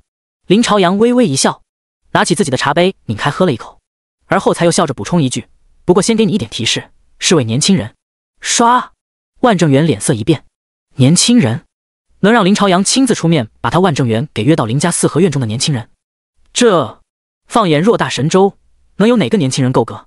蓦地，一个名字从万正元脑海中乍现：叶晨。可是下一秒，万正元便觉得这多少有些说不过去了。纵使叶晨再逆天都好，跟林家的关系再不简单也罢。按理来说，无论从哪个方面出发，都不至于能找来林朝阳亲自出面才对。再说了，叶晨又有什么理由找自己？与此同时，叶晨也跟李元哥走入了林家四合院。陈哥，几名正打算出门的林家小辈一看到叶晨，立即欣喜激动的快步上前迎去。不叫我。一旁的李元哥见到自己被忽视，当即故作不满。可元哥姐，下意识的看了眼周遭，确定没有林夕的身影后，几名林家小辈适才讪讪喊道：“怎么着，跟我打声招呼，还怕被林夕听到不成？他还真就小心眼到连你们给我打招呼他都接受不了的程度了。”李元哥玩味道：“元哥姐，你这话要是让希姐听到，你俩估计又得犟起来了。你跟希姐都认识三十几年了，她至于会像你说的那样吗？”林家小辈忙不迭道：“就是因为我跟她认识三十几年了，所以我才知道她看我不顺眼。”正好我也看他不太顺眼，李元哥煞有其事的说着。此言一出，一下子把几名林家小辈给整不会了。一名林家小辈只好赶忙转移话题，看向叶晨道：“陈哥，刚才院里的三把手万正元万老来了，现在跟老爷子在偏厅呢。你是奔着他来的吧？”“嗯，他来了。”叶晨下意识的抬手看了看腕表时间，“嗯，来了呀，来一会了呢。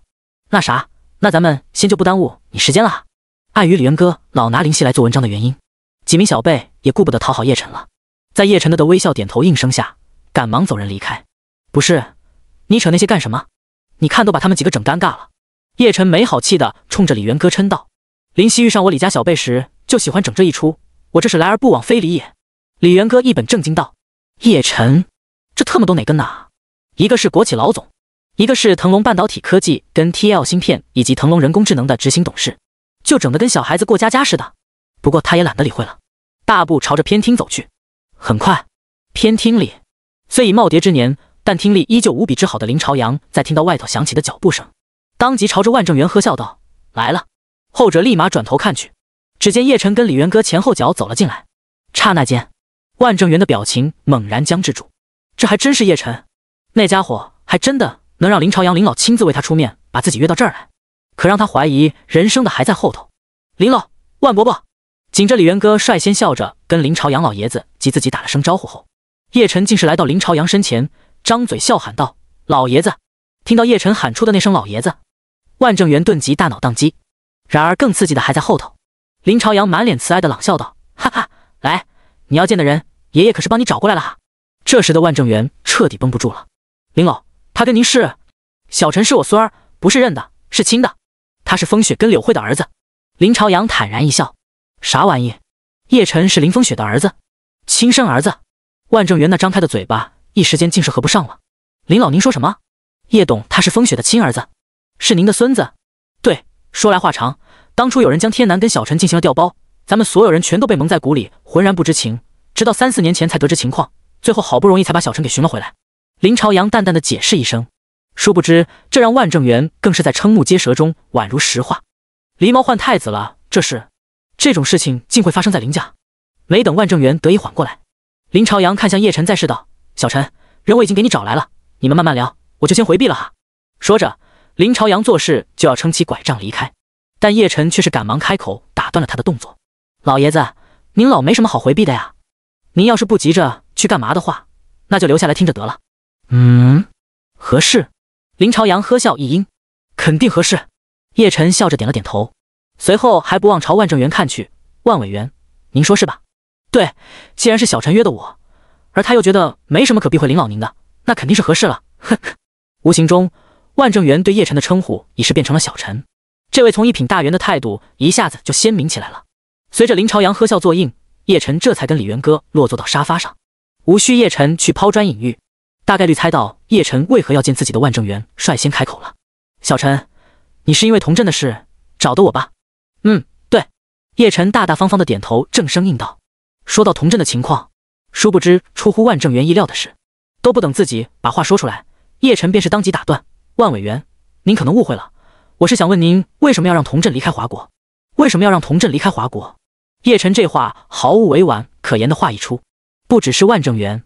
连老爷子林朝阳都是猛地愣住，小陈，你这话什么意思？万正元还没开口，林朝阳便率先挑着老眉道：“就是万委员那边在没有跟我进行过任何沟通的情况下，找中科院安排了跟童振进行视频通话，并且给童振做了一定的思想工作，导致童振出于大局为重，为了不牵连我以及不给官方添麻烦，想离开腾龙办半导体科技，想离开华国境内开始新的潜藏生涯。”叶晨直白道：“郑源同志，小陈说的是真的。”林朝阳迎声看向了万正元，而万正元却是神色肃然的朝李元哥看去，不料后者却是无奈的苦笑着摇了摇头。万伯伯，没辙，童振一张嘴，他就知道肯定有官方那边的人员给童振做过思想工作了。林老，确实，小陈说的无误，我的确是跟童振进行了视频会话，并且给他做了相应的思想工作。毕竟让童振暂时离开华国才是最为周全的做法，在咱们官方的暗中保护下，等风波平息下来后再重返华国。我并不认为此事有任何的不妥之处。万正元道：“万委员，不知这事儿是紫禁最高层的交代，还是院里一把手的交代？”叶晨顺势问道：“有关部门的决议。”万正元领声道：“为什么就不跟我打声招呼？”叶晨紧接问坐：“绕过你是我的决定。万伯伯事先就有跟我沟通过，但怕你意气用事，所以我私自决定先斩后奏。为此，我已经做好承受你怒火的准备了。”李元哥先万正元一步道：“小陈。”恕我直言，让童振先行离开华国，并无任何不妥。退一步来说，就算美利坚官方目前没有确凿证据在手，但也不代表他们后续找不到实质证据。毕竟谁都不能保证美利坚的官方力量不会渗透到你的腾龙半导体科技中。如果能将童振暂时转移到境外，这无疑会让咱们华国官方更好的就此事去开展跟美利坚方面的博弈。反之，官方多少都会有所顾忌跟束缚，这在博弈上多少会形成一些不利因素。你应该清楚，童振前身华国对外绝对不是什么秘密。尤其是美利坚那边，他们必然不会认为童振除了华国还有其他地方可去。所以说白了，童振前身华国就是一层让美利坚尚未能掌握到确凿证据的窗户纸而已。一旦这层窗户纸被捅破，一旦美利坚后续真拿出确凿证据来，你说咱们官方会有多被动？这在国际社会上又会造成怎样的负面影响？包括你的腾龙半导体科技跟你自身，迎接你们的又会是什么？基于这种种，童振若是被转移到境外，那么，在这场博弈中，华国将会成为必赢的一方，甚至是你的腾龙半导体科技跟你在咱们华国官方的强势撑腰态度下，也能全身而退。除此之外，咱们这边也已经跟中科院以及童振有过深入交流，基本能够确定，就算童振离开境内，也不会影响到后续光刻机的研发工作及问世。就这种背景下，把童振转移到境外，难道不是最好的选择吗？难道还有比这更好的选择吗？还有，我必须得强调的是，咱们并不是放弃他。并不是过河拆桥、卸磨杀驴，仅仅只是让他暂避风头而已。仅仅只是为了能够赢得跟美利坚之间的博弈，好让他后续能够以一种更为稳妥的方式回归华国而已。如果不是因为林朝阳的原因，如果不是因为叶晨是林家子嗣的原因，那么面对叶晨这般兴师问罪，万正元是绝对不可能会有这么好的语气的。一旦童振离开境内，谁能保证他不会遭到任何意外？但凡有任何风吹草动，我相信美利坚那边必定会不惜代价对童振实施抓捕，甚至是暗杀。往近了说。为华国，为腾龙半导体科技研发出高尖端国产光刻机的民族脊梁，要是死在美利坚的暗杀下，无论是我也好，还是官方也罢，如何向世人交代？往远了说，如果华国官方连童振这样的都不能保护到位，都不能让他留在华国境内保证绝对安全，而是迫于美利坚的压力，并且在美利坚尚未有实质证据的情况下，就将其转移到境外，导致遭到暗杀身亡。试问，这对那些身在曹营心在汉的民族栋梁们该造成怎样的想法？哪怕他们甘于为了报效国家而不惜搭上自己。但官方并不能不去直面那个问题，我叶晨更不能去罔顾那个问题。当然了，如果童振不是在我旗下，我肯定没有资格说任何话。可事实是，童振既然在我麾下，那我就一定会不惜一切保证他的绝对周全，哪怕付出的代价再大都好。不对万正元的说法予以认可，叶晨掷地有声的铿锵道。正当万正元想要接茬之际，叶晨再是领声道：“万委员，我说句得罪您的话，大局为重固然是有必要，但咱们能不能别那么软？”美利坚就用了一场新闻发布会，您那边就急着将童振转移出去。试问一句，这对得起外交发言人周司长在记者会上的振聋发聩吗？我知道国家的博弈战略肯定不是我这种小人物能够参透的，但我同样知道，外交发言人既然敢在记者会上说那些，那就肯定是有底气的。另外，我也不瞒您说，关于童振的事情，我不仅亲自跟老总说过，同时也将童振的事情跟紫金智囊团那边开展过相关议题。而我相信，您老在去给童振做思想工作之前，对许多内在的情况都还不具备足够的了解。试问一声，这种情况下，您觉得您的做法合适吗？四是没打算把话给说死般，叶晨也给对方留了台阶。当然了，话说两头，我也相信你们那边的决议，虽然是给童振做思想工作，对其进行转移出境，但这不一定就是最终结果，也许更多只是未雨绸缪的将做上一些前期准备而已。即使童振接受同意，即使童振愿意离开境内，最后你们也不一定会将这套方案上交上去，是吧？对于叶晨给出的台阶，万正元似是没听到似的。整个人完全陷入了叶晨前一刻透露出的信息当中，已经跟老总说过，并且也已经跟紫禁智囊团开展过相关议题。这合着最高层那边是已经决定让童振留在腾龙半导体科技当中。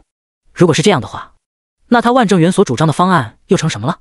这也是还没有向上做出进一步呈报而已。否则主导了这一出的他得成了什么角色？想到这，万正元不由口干舌燥的蠕动起了喉咙。别看自己去年迎来了更进一步。但根基相对来说并不稳，这也使得他家在派系博弈中处于一种较为尴尬的位置。正是这样，所以他才一直想着以更好的作为去夯实自己身下的那把交椅。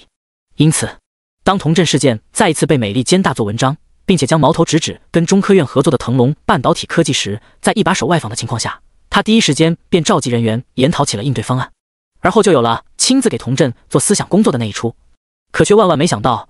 这一行为竟是在跟最高层以及智囊团唱反调。即使说叶晨道出的那些是对的，就算童振愿意以大局为重选择离境，也不代表这会是最终的博弈方案。但是，一旦他将自己所主张的方案搬到台面上，念头至此，万正元的脸上微微抖了抖。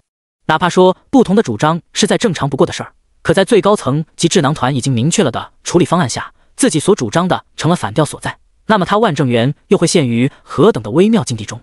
再一次，这位从一品大员不由咽了咽声：“小陈，你说你已经跟老总以及智囊团就童振的问题展开过讨论了？”“没错。”应声之余，叶晨再试道：“万委员，该说不说，就凭外交发言人周司长在记者会上的强硬态度，难不成以您的嗅觉还嗅不出一些东西来吗？”闻言，万正元的眉头紧凝不已。那场记者会之后，我跟周司长私下聊过，但他是三缄其口，不仅是周司长，包括咱们李家的高层都选择回避相关问题。这时，李元哥的话声缓缓坐起：“我一早就跟你说过，童振的问题你不用担心，因为无论是对腾龙半导体科技的在乎，还是对华国的在乎，我绝对在你之上，连我都不去担心的问题。你担心什么？”叶晨话声一顿，看向李元哥，不留情面的直言领声道：“也就是童振还没有离开华国而已。如果已经离开，如果你的先斩后奏成型，那么你在腾龙半导体科技里头也就不用再待了。”李元哥顿即噤声哑然，紧接着，只见叶晨再次面朝万正元。万委员，跟您说这么多，没别的意思，我只是想你们那边就此打住，将童振转移出境的方案。退一万步来说，就算真要将童振转移出境，以此来为官方腾出更多的博弈空间，那也不是您来主张。在老总跟智囊团那边就童振问题早就已经跟我交流过的背景下，只要一个电话，不用官方出面，我自己就会将童振转移出境，绝不会让官方介入其中，从而尽可能的避免给官方带去麻烦。被叶晨这么一通说，万正元的脸上多少有些挂不住。说白了，自己的身份地位摆在那，而对方似乎对自己缺乏相应的尊重。就在这时，林朝阳也开口打起了圆场来。郑源啊，这小子一向说话都没个分寸的，你别跟他一般见识。我知道你也是一心为大局着想，可今时不同往日。之前那场外交记者会我也看了来着，若没有最高层的授意所在，发言人也不会如此激进强硬的。还有就是，且不管老梅手上有没有证据，就算老美掌握了确凿证据，能够明白童振前身华国又如何？他们又能怎么着？这种事例也不是第一起了，不就是周旋一番就不了了之吗？在咱们官方面对老美的指控不予理会，没去承认童振归华一事，我想绝非是忌惮于老美的折腾，而是暂时还没到那个时候罢了。这一点，我相信你应该是清楚的。再有，纵观这么些年，无论是那些在美利坚学成后潜回华国的栋梁，还是带着科研机密来投奔华国的外国科研人员，你见过华国会迫于美利坚的压力就进行转移的吗？从来都没有。如果在这种事情上都畏手畏脚、闪闪缩缩，那么这对那些意图报效华国的人才眼中，华国官方又得是何等形象？这些我相信你应该比谁都清楚吧。然而在林朝阳的话下，万正元却是苦涩的摇头笑了起来。林老，不是那么一回事。也罢，既然小陈说到他已经跟老总还有智囊团那边探讨过相关问题，那我也不妨说一说。之所以我会主张将童振暂时转移出境，是因为有一批想归国报效的顶尖人才在美利坚被老美给扣押起来，并且遭到了极为严密的看管。为此，咱们这边一直都在跟老美周旋着，当下也到了尤为关键的阶段。如此节骨眼中，老美重新拿童振事件出来做文章，这无疑增加了诸多变数。虽说童振归华早就成了美利坚只缺确凿证据的一层窗户纸，但若是这重窗户纸被捅破，这绝对是不利于咱们让美利坚将那批想归国报效的顶尖人才做出放行的。而为了确保能让那批科研人员顺利归国，就得在这个周旋阶段中确保那种窗户纸不被捅破，以免出现更多的变数。因此，才有了我主张暂时转移童振的主张。为的就是尽可能的将变数压到最小，同时也避免付出更大的代价。不过话说回来，若是我事先知道小陈已经跟老总还有智囊团那边接洽过，我也就不会有那种主张转移的想法了。但也正如小陈所说，我主张的方案不见得会被采纳，所以跟童振做思想工作，只是基于未雨绸缪，做一个提前准备罢了。迎着万正元的话，叶晨不由怔愣着皱了皱眉。就万正元说的这些，他是真不知道，毕竟老总跟智囊团那边并未跟他提及过这些，是这么回事啊。林朝阳若有所思地说了一声，听到老爷子的这一应作，叶晨顿即也会意了，诚恳地看向万正元：“万伯伯，是我孟浪了。”至此，叶晨才将那声万委员转变成万伯伯，但这并非是出于他对误会万正元后的歉意，纯粹是顺着老爷子的弦外之音来表出这么一丝态度罢了。要说对于万正元，他并无任何好感，即便是先前的自己似乎多少有些误会了万正元都好，毕竟在前世中，万正元着实不是什么良才。抛开对方后来被人戏称为史上最平庸的院务委员之外不说，按照前世时间轨迹，两年后的万正元还因为多重原因遭到处分，被降级降到了部级。叶晨虽然对具体情况不太了解，可后来在接触到高层圈子后，也听说过万正元是过于追求作为，导致在那个过程中犯下了一连串的错误，最后栽起了跟头。所以到了这一世，如此这么一位主，着实难以让他予以半分好感。不过看在老爷子的份上，在那生是这么一回事啊之下。叶晨还是适时的选择将称呼从万委员改成了万伯伯，然而恰是叶晨做出的称呼改变，也让万正元心头的那些不快顿时烟消云散。旋即在叶晨的百般强颜欢笑下，随着话题的转移，拉起了种种家常来。直到晚上十点，适才在李元哥的陪同中离开了林家四合院。偏厅里，小陈啊，你今晚的表现是不是太不沉稳了？无论怎么说都好，万正元的身份地位毕竟摆在那，所以不管如何，尊重是一定要有的。哪怕你对他有再多的成见，都不能通过态度跟成见去表达出来。这种道理，我想你应该是明白的。待到万正元跟李元哥离去后，林朝阳语重心长地看着叶晨道：“我明白，我理解，我也知道自己的态度跟措辞极其不妥。但我之所以如此失态，并不是因为他触碰到了我的底线，而是因为他的愚昧。您老说说，将童振转移离境，这得是多愚昧的想法，又得是多软蛋的想法。纵观过往，有过这种荒谬的愚昧案例吗？”哪怕他后来说了童振事件关乎到另外一批想归国报效但却遭到扣留的顶尖人才归国路，但这都绝对不是将童振转移出境的理由。叶晨道，林朝阳默默点了点头，道：“一码归一码，同样的，这也不是你连基本尊重都不予提供的理由。不过这次就算了，我希望你下不为例。”嗯，确实，想想着实是我孟浪了。点头应声中，叶晨话锋一转：“老爷子，万正元是怎么能够成为院里委员的？说实话，以他的级数。”不给叶晨把话说下去，林朝阳抬手打断，都是博弈的结果。至于再深层的，你也甭去打听，好奇那么多了。也罢，想想叶晨摇头苦笑。关于万正元前世的那些，他还是没去选择多说半句。今晚在家里过夜吧，不急着走了吧？林朝阳呵笑道：“行，那就在四合院过夜。”叶晨咧嘴点头：“得，那咱爷孙俩就好好聊聊。”这一聊，爷孙俩直至凌晨快到，林朝阳才意犹未尽的在叶晨以及保健医生的催促下回屋休息，否则怕是不知道还得跟叶晨畅谈到什么时候。翌日，跟老爷子吃完早餐后，在林朝阳的依依不舍中，叶晨这才踏上了返程江州的归途。与此同时，有关童振前身华国以及前身腾龙半导体科技的证据，美利坚方面也一并捅出了多条，并且态度严厉的跟华国官方发起了交涉。当美利坚摆出的那些证据正式公开，互联网上再次掀起了轩然大波。一些嗅觉敏锐的人，则是跟在美利坚给腾龙半导体科技罗列出的那些罪证中，已经预见到了美利坚官方接下来的行动。为此，关于腾龙半导体科技，甚至是其他与叶辰相关的科技企业以及叶辰本身，极有可能会遭到美利坚的全面制裁。也在互联网上掀起了一重重的热议狂潮来。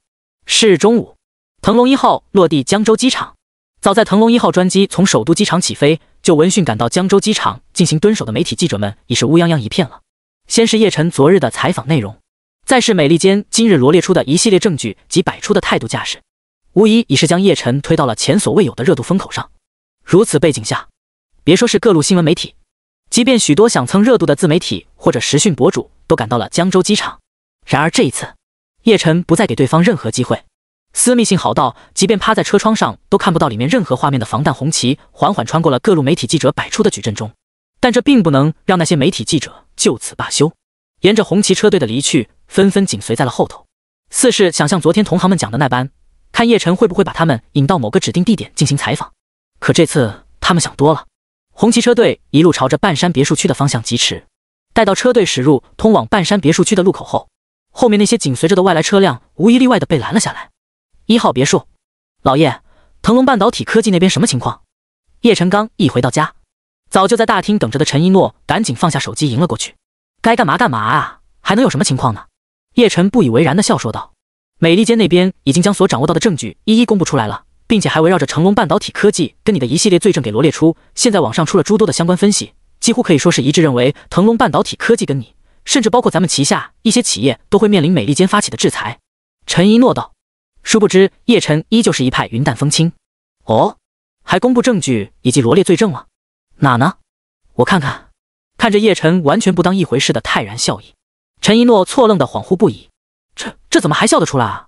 没等陈一诺回过神，叶晨的手机倏然响起。李元哥，老叶，我给你发了份电子邮件，是关于美利坚所公布的证据以及他们为咱们罗列的罪证。以及对方给咱们下达的通牒的，你赶紧查看一下。电话那头的李元哥透出了几分明显的担忧来。好，叶晨应声落下，挂断了通话。指控、证据、罪证，齐活了吗？这是？挂断电话的叶晨不由冷冷一笑。老叶，什么情况？这是？看到叶晨只是应了一声好，便给挂断电话的陈一诺好奇道：“没，李元哥那边说他已经将美利坚公布的那些所谓证据什么的发到我的电子邮箱里头了。我先去书房登录邮箱看看。”叶晨道。嗯好，那你赶紧的，没有任何着急的样子。叶晨先是往娇妻的额头上轻轻一吻，旋即才闲庭信步的往楼梯走去。是的，连电梯都不坐，主打就是一个稳坐钓鱼台。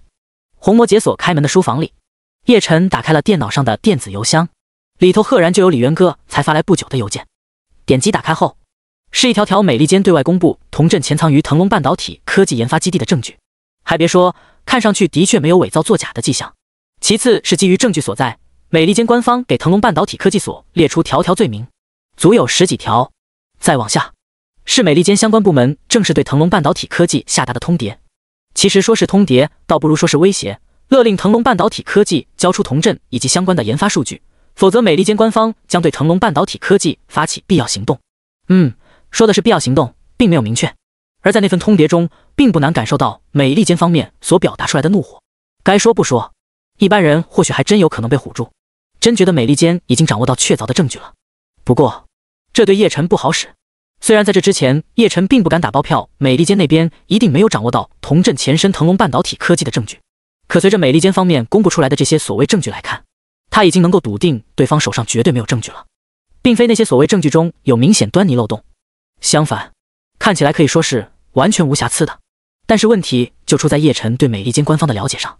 如果这些能够以假乱真的证据不是伪造的，那么美利坚官方所公布出来的证据绝对不会是当前这种级别层次的。戏谑一笑。叶晨拿起手机回拨了李元哥的电话：“喂，老叶，看完了？看完了。”叶晨淡淡一笑应：“我现在是真拿不准美利坚官方究竟是不是真掌握到证据了。”李元哥脱口而出：“首先，这些所谓证据基本上可以确定是老美那边自行编造的；其次，证不证据什么的已经不重要了。美利坚摆明了就是想对腾龙半导体乃至于我旗下的企业进行制裁。同镇事件几乎可以明确就是一个幌子了，一个能让美利坚官方名正言顺对我发起制裁围剿的幌子罢了。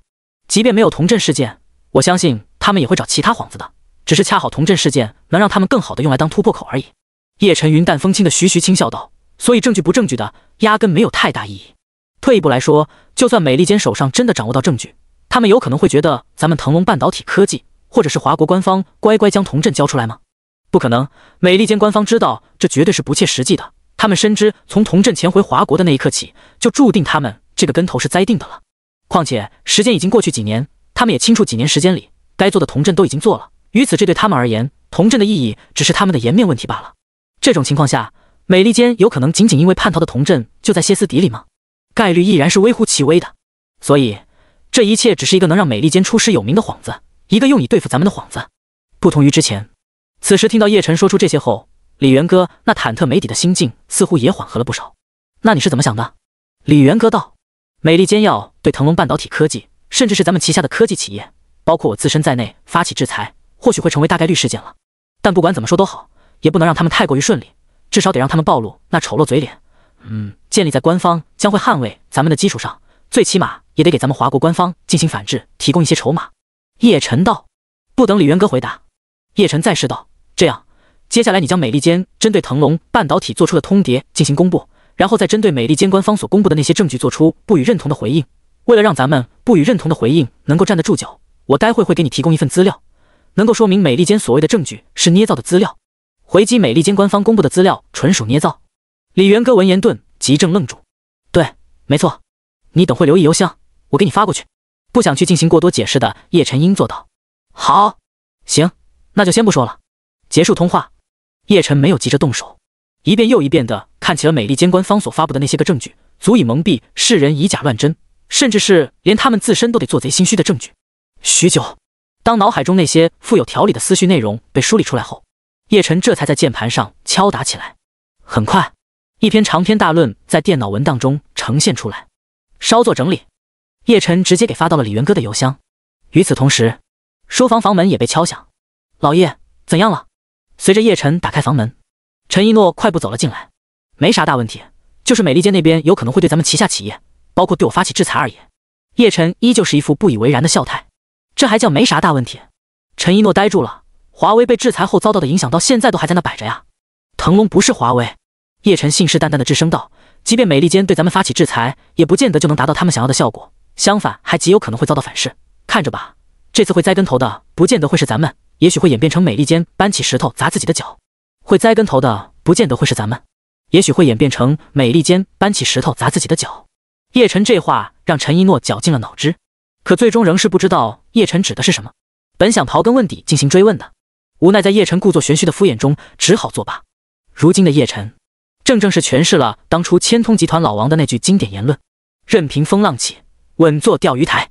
纵使外界已经掀起了千万重波澜，纵使全世界都将目光聚焦在了这场风波上，纵使所有的专业分析都往腾龙半导体科技及叶晨旗下那些科技企业将会遭到西方制裁的方向靠拢，叶晨仍旧是一腔闲情逸致的在一号别墅中悠哉悠哉。面对不停响起的手机。面对那些不断联系自己、表示关心、过问的各路权贵大拿们，自始至终，叶晨全程都表出云淡风轻的泰然来，似乎似乎完全不将当前的一连串事件放在眼中。这也致使各路权贵大拿不得不怀疑起叶晨是不是强行装出来的。要知道，昔日的华为在遭遇类似危机时，浮沉了商海大半生的民族企业家，人老都做不到像叶晨这般啊。事业通过乾隆游戏后台零号服务器看了一会轮回全球赛最后阶段的局势战况后。独自坐在客厅沙发上的叶晨拿出手机，从里头找出了 U 二集团老凯恩之前发来的那串号码，按下了拨号。电话响了许久才被接通。新晋国际金融大鳄并没有马上开口，似是在等着来电归属为华国的电话那头率先发声。霍华德先生是吗？叶晨操着一口无比地道的伦敦腔，以至于都让大洋彼岸的霍华德一时间觉得对方是在华的英伦人了。你是谁？霍华德警惕道：“我，我是你想找的人。嗯，通过老凯恩来找的人。”叶晨玩味的轻笑道：“嘘。”刹那间，远在大洋彼岸别墅庄园中的霍华德猛地蹿起身，只把正给他进行松筋活络的兔女郎吓了一大跳，呼吸瞬间急促起来的他并没有马上应声，而是打手势让边上的兔女郎立马离开。对于霍华德的沉默，叶晨似乎并不着急，就这么默默等着对方的开口。片刻后，主导了 U 二集团那场世纪抄底的人是你。一声说罢，霍华德似乎觉得还不够，再又是接着补充：“是你让 U 二集团撤销了在能源期货市场上的所有空单，并且高倍杠杆重仓抄底能源期货的。”没错。叶晨应道，此时的语调甚至是尾音，完全可以说是零瑕疵的吻合着那些地道的伦敦腔。这更加让霍华德认定对方是在华的英伦人了。只不过，英伦有如此之猛的人吗？为何他从未听说过？但这位新晋国际金融大亨也知道，此时不是他去琢磨这些的时候。请问你是哪一位？从一开始时的你是谁，到当下的请问你是哪一位？这位新晋国际金融大鳄的转变，已然说明了态度所在。如果霍华德先生真这么想知道我是谁，那就过来见上一面吧。叶晨道。然而那头的霍华德并没有马上去回应对方的话，而是道：“你是怎么知道我跟老凯恩说的金融计划的？”霍华德先生是希望我们之间的对话交流都在电话中进行吗？叶晨哼笑一声，霍华德顿即不由为之一愣。叶晨继续道：“如果是这样的话，那我想我们也没有进行下一步交流的必要。”说完，不给对方应声的机会，叶晨挂断了电话。Fuck！大洋彼岸的霍华德是既怒又急。怒的是对方对他这位国际金融大鳄所表出来的这般态度，急的是他有可能会错过那位神人。最终思索再三，他还是顶着屈辱回拨了那通来自于华国的号码。抱歉，我想说的是你误会了，我并没有排斥去跟你见一面，我甚至认为这是我的荣幸。电话被接通后，霍华德立马将自己的姿态放了下来。毕竟姿态这种玩意，重要的时候重要，不重要的时候也不重要。此刻霍华德的想法是，等自己见了对方。一旦发现并不是自己想象中的那样，再直接进行切割便是了。既然如此，那还请霍华德先生赶最快的航班飞往华国江州，地点在江州的腾龙酒店。如果霍华德先生觉得有必要的话，也可以把老凯恩的恩儿子哈利·凯恩给捎带上。毕竟我想这有可能会让霍华德先生更加放心一些，是吗？叶晨故作高深的说道。赶最快的航班，霍华德不由皱了皱眉头。对，因为是霍华德先生想见我，所以必须得迎合我的时间。叶晨道：“好，我会以最快的速度赶往华国江州。”应声落下，霍华德想了想，终是忍不住咬牙说了一嘴：“希望你不要让我失望。”这句话同样也是我想说的，希望霍华德先生不要让我失望。没再去跟对方说太多，耐人寻味的笑上一声后，叶晨再一次将电话给挂断。大洋彼岸那头，霍华德的脸色渐渐变得凝重起来。通过对方的语气口吻来看，似乎并不怎么将自己这位新晋国际金融大鳄放在眼中。这究竟是装出来的，还是真有那个实力？霍华德一时间是真的拿捏不准了。哪怕说种种迹象都说明对方的超凡之处，比如能让 U 二集团在能源期货市场上全面撤销原本的空单，比如能让 U 二集团在撤销空单后反过来赌上集团的命运，比如对方又是如何能在当时那种毫无征兆的情况下认定欧洲将会遭到新一轮的能源危机，导致能源价格疯涨的？但是，即便如此都好，他霍华德也还得亲自试探过对方才会下定论。这也是他纵横金融资本市场一直以来所秉承着的原则。希望你别让我失望。再一次轻喃着刚才在通话中说的最后一句，霍华德拿起手机拨通了老凯恩的号码。霍华德的效率很高，在跟老凯恩通完电话后，便立即购入了最快飞往华国江州的航班机票，并且动用关系包下了整个头等舱。至于原本购入了头等舱机票的其他乘客，自是有人去给他解决。本来他是想坐自己的私人飞机去的，但考虑到航线申请种种什么的。只能放弃了专机出行。然而另一边，哈利·凯恩直至来到伦敦机场时，整个人都还是懵的。无他，在父亲老凯恩告知他务必放下手头上的一切工作，前往机场跟霍华德一同赶往华国江州腾龙酒店见叶晨后，父亲便直接挂断了电话，啥都没说。在之后便是自己收到了老凯恩发来的航班信息以及购票信息，就这样不得不踏上了赶往机场的途中。他甚至都不知道为什么要这么着急。为什么连基本的准备时间都没有？期间他是有想过给叶晨打个电话的，但想想还是打消了念头。V V I P 候机休息室里，哈利·凯恩一现身，带着几名随行保镖，并且进行了一些伪装的霍华德，二话不说就招呼他一同登机。直至踏上被包下的头等舱后，哈利·凯恩才有开口作问的机会。霍华德先生，为什么这么突然这么赶？还有，为什么要把我带上？他说我要想见他，那就以最快的速度飞往华国江州，并且让我把你给带上。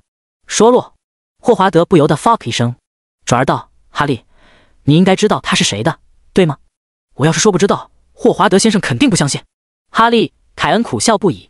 就在霍华德眼前一亮，想要发起追问时，哈利，凯恩抢先一步道：“但是还请霍华德先生见谅，我得有自己的原则，所以暂时无法对霍华德先生进行告知。而且霍华德先生很快就能见到对方了。”也不必再急于这一时了。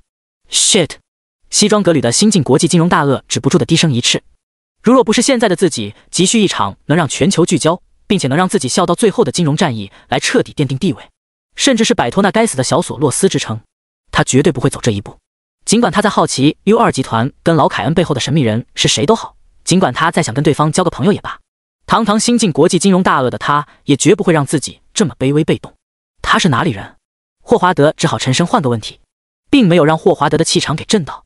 哈利·凯恩抿笑摇了摇头：“霍华德先生到了就知道了。不过霍华德先生应该是知道他的。” What？霍华德眯起了眼，殊不知哈利·凯恩却是适可而止的打住，不再多说。他最好是别让我失望，否则恐怕会影响到我跟你父亲的交情。霍华德如是沉声道。然而听到这话的哈利·凯恩却是多少有些嗤之以鼻，即便知道接下来的话有些不适合。但还是忍不住说了出口。我倒是觉得霍华德先生应该担心的是自己会不会令他失望。你说什么？如似听到了什么不可思议的话似的，霍华德错愣不已的歪了歪头，看着哈利·凯恩道：“我说，霍华德先生该担心的是自己会不会令对方失望，因为这关乎到你会不会白跑一趟。”没有任何退避闪躲的意思。迎着霍华德投来的尖锐眼神，哈利·凯恩笑了笑，直视着对方的双眸道：“如果是放在过去，那么面对霍华德这种级别的大咖。”哪怕他哈利·凯恩跟 U 二集团创始人老凯恩的儿子，哪怕如今的 U 二集团已经成了欧洲能源龙头霸主都好，他都不敢在霍华德这种人物面前失了礼数，更别说一副轻佻做派了。但自从搭上叶晨，自从自己在西方世界的权贵圈中成了炙手可热的存在，哈利·凯恩的自信及底气已然无限飙升。因为自己的背后是叶晨，因为叶晨能给他带去那种自信底气。呵呵，好，好，好啊！霍华德耐人寻味的挑声笑了起来。很快。头等舱中陷入了安静，知道从哈利·凯恩口中套不出什么来的霍华德不再去多，而哈利·凯恩也不再给出任何的言说。一阵身体如似失衡的倾斜骤作，飞机脱离跑道，拉升高度的同时，也拉开了国际新晋金融大鳄霍华德这趟华国之行的序幕。大洋的另一端，叶晨也将接待霍华德的相关事宜给腾龙酒店那边进行了交代，并且还安排了相关人员到时前往机场接机的事儿。按道理说，该他自个去迎接的。但拿准了霍华德意图所在的他，还是选择了将自己的姿态挂起来。毕竟现在是霍华德想见他，并且是迫切的想着见他，所以将姿态摆高，无疑是绝对有助于他在双方后续的，嗯，暂且说是合作地位的。交代完这些之后，让全世界都想不到的是，此时正置身于全球聚焦风口浪尖上的叶晨，完全没去理会腾龙半导体科技的事儿，一头扎入在了轮回全球赛的观战中。特别开设的副本里。代表华国出征的炎黄战队，已是利用华国古代跟近代的各种兵法，灭掉了七个亚洲国家跟欧洲国家的代表战队，其中更是将炎黄战队的战旗扎在了高丽以及阿三的大本营中，并且悉数歼灭了这两国战队的全部人员。此举也被广大华国网友称之为“屠蛇”。之所以是屠蛇，则是因为华国网友一致认为这些垃圾配不上“屠龙”二字。为此，这也引发了三方在外网上的各种骂战。除此之外，原先的十六国战队联盟也已经彻底土崩瓦解。主要是代表美利坚服务区出征的战队将他们当成了炮灰，再加上他们自始至终都没有任何的话语权，以及炎黄战队发动的接二连三各种战术计谋，直接让联盟散伙了。在那一出出堪称无比经典的桥段中，如若不是因为同镇事件以及华国跟美利坚双方的各种隔空喊话，怕是各种跟轮回相关的话题早已席卷全球互联网了。而对于轮回的热度大大遭到分流这一点，乾隆游戏那边，尤其是负责人徐英杰，无疑是憋屈到了极点。因为这明明可以在全球互联网掀起前所未有的推广狂流的，明明可以让全球多个国家的大多数网友都将焦点放在这上面的呀。然而因为童镇事件所引发的一连串，直接让轮回的话题热度受到了重创。可是想到这不仅关乎到叶晨以及叶晨旗下一众企业，甚至也是华国的一次新挑战，纵使再憋屈都好，徐英杰跟乾隆游戏都只能在遗憾中暗自苦笑。时间在流逝，随着华国时间进入到翌日上午。从英伦飞往华国江州的航班稳稳停落在江州机场上。作为最先下机的头等舱，走下舷梯的哈利·凯恩轻车熟路地领着霍华德一行出行人员走了起来，无需跟叶晨进行任何通话问询。了解叶晨处事风格的哈利·凯恩很快便找到了叶晨安排接机的车队。殊不知这一切看在霍华德眼中，既是让他惊愕，又是让他恼怒。惊愕的是哈利·凯恩如此熟悉，恼怒的是那位所谓的神秘人竟是连亲自接机的礼遇都不予提供。要说他霍华德尚未晋升成人们眼中的国际金融大鳄，倒也就罢了。想他霍华德的大名，放眼全球金融界，现如今谁人不知？让他极其不自在的小索洛斯之名，更是一而再的在金融界掀起了一轮轮高潮。如此背景下，正主竟是连接机都不愿意前来。哈利，你似乎很了解对方。赶往腾龙酒店的车队里，坐在劳斯莱斯后排座上的霍华德挑眉道：“霍华德先生，你没必要再试探我，很快你就会见到对方了。”哈利·凯恩笑笑道。别跟我说那是个华国人。想到接机人员清一色全是黄皮肤黑头发，霍华德皱着的眉头更加之深了。霍华德先生不必着急，你想要的一切答案很快你就能知晓了。依旧还是没去正面回答对方的问题。哈利·凯恩自始至终都保持着那尤为绅士的笑容。Shit！霍华德甩手扫了一下身前副驾驶座椅上的头靠，继而翘着二郎腿，渐渐沉起了脸来。此时的他脑海里已经冒出一个名字来了：叶晨。是的，叶晨。虽然他打心底不认为那个如今已是名震寰宇的华国商界传奇能够精准的分析出欧洲能源会因为陷入新一轮的危机，从而在原本回跌的形势下急转反弹暴涨，不认为就是那么一个充满着争议的华国人能让 U 二集团跟老凯恩赌上集团以及家族命运。但是，叶晨跟哈利·凯恩的友情是众所周知的，甚至对方还几度迈入 U 二集团跟老凯恩进行办公室会谈。再加上如今哈利·凯恩表现出来的种种。这让他已经无法不往叶晨身上进行联想，无法不去往那个最不可能的可能性进行靠拢，一路再也无言。对于霍华德而言，不可谓不是漫长无比的行程。随着车队抵达腾龙酒店而停止。由于有叶晨先前的交代，在大婚过后还不久的张景山亲自坐营。然而在看到是哈利、凯恩以及一位鬼佬后，懵了，因为叶晨只说是贵客，没跟他再说其他。哈利，什么情况？这是？张景山挤出笑容，朝哈利、凯恩低声问道，用的是中文。而不是英文。新晋国际金融巨头霍华德，名震华尔街的小索洛斯，哈利·凯恩同样是用中文笑着给出了答案。闻言，张景山顿即瞪大起双眼。不是因为对方的来头，对他来说，就算什么索洛斯、什么巴特菲亲临现身他面前，他都不带会有多少的情绪波动。真正让他呼吸骤然急促、心跳加速的是这背后的意味啊！新晋国际金融大鳄被叶哥找了过来，这岂不是意味着叶晨又要有大动作了，并且？还是跟国际金融大鳄相关，甚至是合作的大动作。操！张景山抑制不住的躁动起来了。下一秒，不再理会哈利·凯恩，转朝霍华德笑看过去。霍华德先生，欢迎莅临腾龙酒店。说话间，张景山落落大方的朝对方伸出手来。平时虎归虎，缺心眼归缺心眼，但在一些正事上，张景山还是极为着调的，没有马上去握对方的手。在张景山的脸色秒变中。稍作迟疑的霍华德这才迎着握过去，挤出笑容道：“你好，来这边请。”看出了对方态度所在的张景山适可而止，毕竟热脸贴冷屁股向来都不是他的作风，更不是他能接受的。当然了，除了面对叶晨时，霍华德威一颔首不再说话。旋即一行人在张景山的引路中来到了叶晨提前交代好的楼层会面室中。古色古香的大门被推开后，里头浸透着浓浓的华国风，作为装饰的琴棋书画放眼可及。没有没有国风元素的，只有那几张单人沙发。看到这一环境，霍华德更是彻底笃定了自己要见的那位神秘人是华国人，而且还极有可能就是叶晨。想到这，脸上愈发阴沉起来。是的，他有了一种被耍的感觉。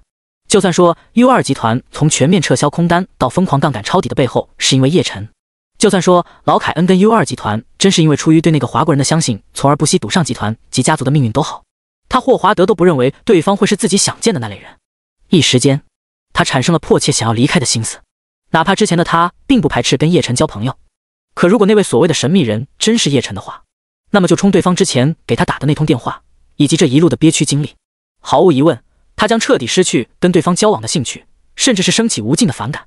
似乎看穿了霍华德的那点心思。不过哈利·凯恩并不在意，更不在乎。霍华德先生，坐吧，你要见的人应该快到了。没有说话，霍华德沉着脸，漠然的点了点头，这才朝着沙发走去落座。到了这一步，不管如何都好，见肯定是的见了。在霍华德落座后，足足五分钟，就在霍华德的脸色快要滴出水之际，大门才再次被推开。嘘，这位新晋国际金融大鳄猛地抬头看去，前方踏步而来的正是叶晨，正是他在来到腾龙酒店后所想到的叶晨。这一刻，看着前方朝自己走来的叶晨，他忍不住的低声说了句 “fuck”。叶哥，霍华德坐着不动，脸色阴沉的有些吓人。而哈利·凯恩则是立马激动的起身，赶紧迎过去道：“嗯。”微微笑着，恩声一点头。叶晨大踏步走向霍华德。霍华德先生，看来你似乎不怎么高兴。熟悉的地道英伦腔进入霍华德耳中，这也彻底击垮了他心中那万分之一的设想。还是说你要见的人竟然是一名来自华国的暴发户？这让你失望透顶了。叶晨玩味一笑，落在到了霍华德身旁呈倾斜角度的单人沙发上。我必须得承认，我确实失望了。因为我没想到能让 U 二集团跟老凯恩赌上命运的人是你，霍华德直言不讳道。所以，霍华德先生要回去吗？如果决定现在就回去的话，我可以安排我的私人飞机送霍华德先生一程。嗯，无常。叶晨淡然笑作。听罢，霍华德狂生起了立马起身离去的冲动。可不知怎么，在叶晨那淡然且自信的笑容下，他莫名的没底了。敢问叶先生是如何知道我跟老凯恩先生说的金融计划是做空日元？当起身离开的冲动被短暂压下后，霍华德没有废话的直入正题。作为新晋国际金融大鳄，我相信现在的霍华德先生比谁都更想来上一场能够彻底奠定自己金融巨头地位的金融战役，同时也极其想去摆脱那个谁谁谁的二世之名。毕竟像霍华德先生这样的存在，我想肯定不会觉得那种附上他人阴影的光环会是荣耀所在。叶晨继续笑说道：“然而，纵观金融世界，能够让霍华德先生实现想法的机会并不多，可以说是极其之少。但是好巧不巧。”眼下机会来了，做空日元的机会来了。一旦能够把握住这个机会，并且打出一场完美的、漂亮狙击战，无疑是可以让霍华德先生声名大噪，甚至能够一举摆脱那个所谓的二世之名的。这一点，我相信霍华德先生肯定是想到了。前一刻还是阴沉着的脸，瞬间神色巨变，因为叶晨将他的心思明明白白、清清楚楚的洞悉出来了。不曾想，叶晨却是不屑一顾的摇了摇头：“你之前就研究过我，关注过我？”霍华德道。不霍华德先生想多了，我没有那种闲心思去研究你。当然，这并不是针对你，而是国际上那些所谓的金融大鳄们，有一个算一个，都不值得我浪费时间去研究，因为对我来说毫无意义可言。我只是听说过霍华德先生的大名，听说过霍华德先生的经历，仅此而已。为此，认为霍华德先生现在需要一场能让全世界聚焦的金融战役，以及相信像霍华德先生这样的人肯定会想着摆脱什么小索洛斯之称的。而放眼当前的金融界。能让霍华德先生最快实现野心的，也就只有做空日元这种金融战了。不过话又说回来，如果霍华德先生之前跟老凯恩先生说的所谓金融计划，倘若指的不是做空日元，我也绝对不会给霍华德先生致电。理由很简单，不配。在叶晨那充满戏谑的语气跟措辞下，本该恼怒的霍华德并没有任何负面情绪，相反，内心深处莫名的躁动起来了。能说说你在去年是怎么知道欧洲能源价格会在大好的形势上再度陷入危机，导致遭到反弹暴涨的吗？此刻的霍华德似是并不计较叶晨说的那声不配，沉声注视着叶晨的双眼道。叶晨笑着耸肩摊了摊手，结合当时的国际形势所在，美利坚必定会连同欧洲一起对老毛子发动制裁围剿的。毕竟局势已经将他们架到了火架上，无论如何都好，他们一定需要做些什么，而他们能做的只有制裁这个点。基于美利坚必然会联合欧洲发动制裁的这一情况，从来都不是软柿子的战斗民族，绝对不可能认命，肯定会做出反击。然而，真正能让欧洲感到痛，又能对欧美同盟产生分化效果的，只有对欧断供天然气。因为以美利坚的做派，是绝对不会放过发战争财的机会的。只要老毛子断掉对欧洲的天然气供应，那么欧洲就一定得从美利坚那边购买。相信换作是霍华德先生，肯定也会想到，美利坚一定会趁这种机会收割欧洲的。如此一来。欧洲天然气的价格就只有暴涨这条路，并且才平复没多久的欧洲能源危机，自然而然也会因此再度降临。后面的相信不用我说了。闻言，霍华德已是忍不住的挪了挪屁股，笃定美利坚会联合欧洲对大毛发动制裁，同时还笃定大毛会以对欧断供天然气作以反击，并且认定美利坚会以收割的方式让欧洲重新上演能源危机。这，这是对欧美已经吃透了。要知道，即便是一些大国的智囊团，都一定能分析得如此精准。但凡有任何一个环节判断错误，U 二集团跟老凯恩就得破产。霍华德的眼皮颤动起来。如果没错，U 二集团跟老凯恩将会一举成为欧洲能源的巨无霸，从末位巨头一举成为傲视群雄的龙头，不是吗？叶晨笑着回了这么一句，再是补充着道：“至于霍华德先生说到的那句，但凡有任何一个环节判断错误，结合我对欧美的认知，嗯，举个例子，打个比方说吧，但凡往霍华德先生不吃不喝一个礼拜，霍华德先生一定会因为能量耗尽而死。但霍华德先生只要不是一心求死，这种情况又会有发生的可能性吗？虽说二者看似没有可比性，但对我而言却是不异于同样的道理。所以霍华德先生的那种但凡假，在我看来是没有任何意义的，因为我已经认定那是必然事件了。”就好比霍华德先生在我刚才说的那种情况下，我认为是一定会求生的。叶晨丝毫没有顾忌的拿霍华德来进行乍一听离谱至极的比喻举例。霍华德沉默起来，但并没有因为叶晨拿自己进行这种比喻而有所不满。这一刻，他不得不重新审夺起了对方来，甚至是之前的那些恼怒跟轻视也开始了快速消退。如果叶晨展现出的不是他对欧美国家以及国际形势的分析跟判定，那他绝对不会这般，自己的恼怒跟轻视也绝对不会迎来迅速消退。可现在，当叶晨展现出那些对欧美国家的心理拿捏和行为拿捏后，他不得不去动容了。但是，即便如此，他也没有马上将话题转移到做空日元这事上面。叶先生，这么看来，你是对于你旗下腾龙半导体科技目前的处境也并不担心了？因为我没记错的话，你给我打电话是发生在美利坚官方公布出一系列证据以及罗列出一系列罪名之后。没错，如果我为之担心并且困扰的话。也绝对没有那个把霍华德先生邀到江州来的心情了。叶晨大大方方的坦诚笑道：“所以，你有足够的自信跟把握，能够让美利坚拿你没办法。”霍华德眯起了眼来，不敢说美利坚一定拿我没办法，只是我坚信这场所谓全球聚焦的风波不会给我带去太多的影响。至少我敢确定，腾龙半导体科技不会是下一个华为。叶晨摇头道。霍华德那皱着的眉头越来越紧，继而若有所思地点了点头：“为何你会说做空日元是一个机会？”霍华德浑然不觉，此时的自己已经跟刚到时判若两人了。霍华德先生，这是在试探我吗？做空日元不就是你当前心里头的金融计划所在吗？叶晨没去顺着对方的节奏，反而是来上了这么一句，让节奏回到了自己这边。那不知叶先生觉得狙击日元这个计划的前景如何？霍华德转而问道。这么说吧，就算没有霍华德先生，我也会对发动狙击日元的计划，区别是做空的体量而已。叶晨道。叶先生，恕我直言，仅仅只是靠分析。是不足以能支撑得了这种牵涉甚广的做空计划的。霍华德道：“我知道，不过我从来不打没把握的仗。既然我会有那种计划想法，就说明了我有着绝对的把握。”叶晨掷地有声的笑言说道。霍华德霎时间噤声，没去问叶晨的把握从何而来，更没去问叶晨的把握具体是什么。毕竟他清楚，就算自己问了对方，也不会回答的。在霍华德思索之余，叶晨轻飘的再是微微笑道：“霍华德先生，有兴趣合作吗？我不需要名，我只要利。”我只要收割足矣。如果这个计划完美成功的话，所有的掌声都会归在霍华德先生。怎么个合作法？固然说合作二字是霍华德最开始跟老凯恩提出的，但此时迎着叶晨的这么一问，他还是反问了回去。虽然我不知道霍华德先生的具体做空计划是怎样，不过我能让霍华德先生的做空计划走向完美，甚至是百分之百地成功狙击。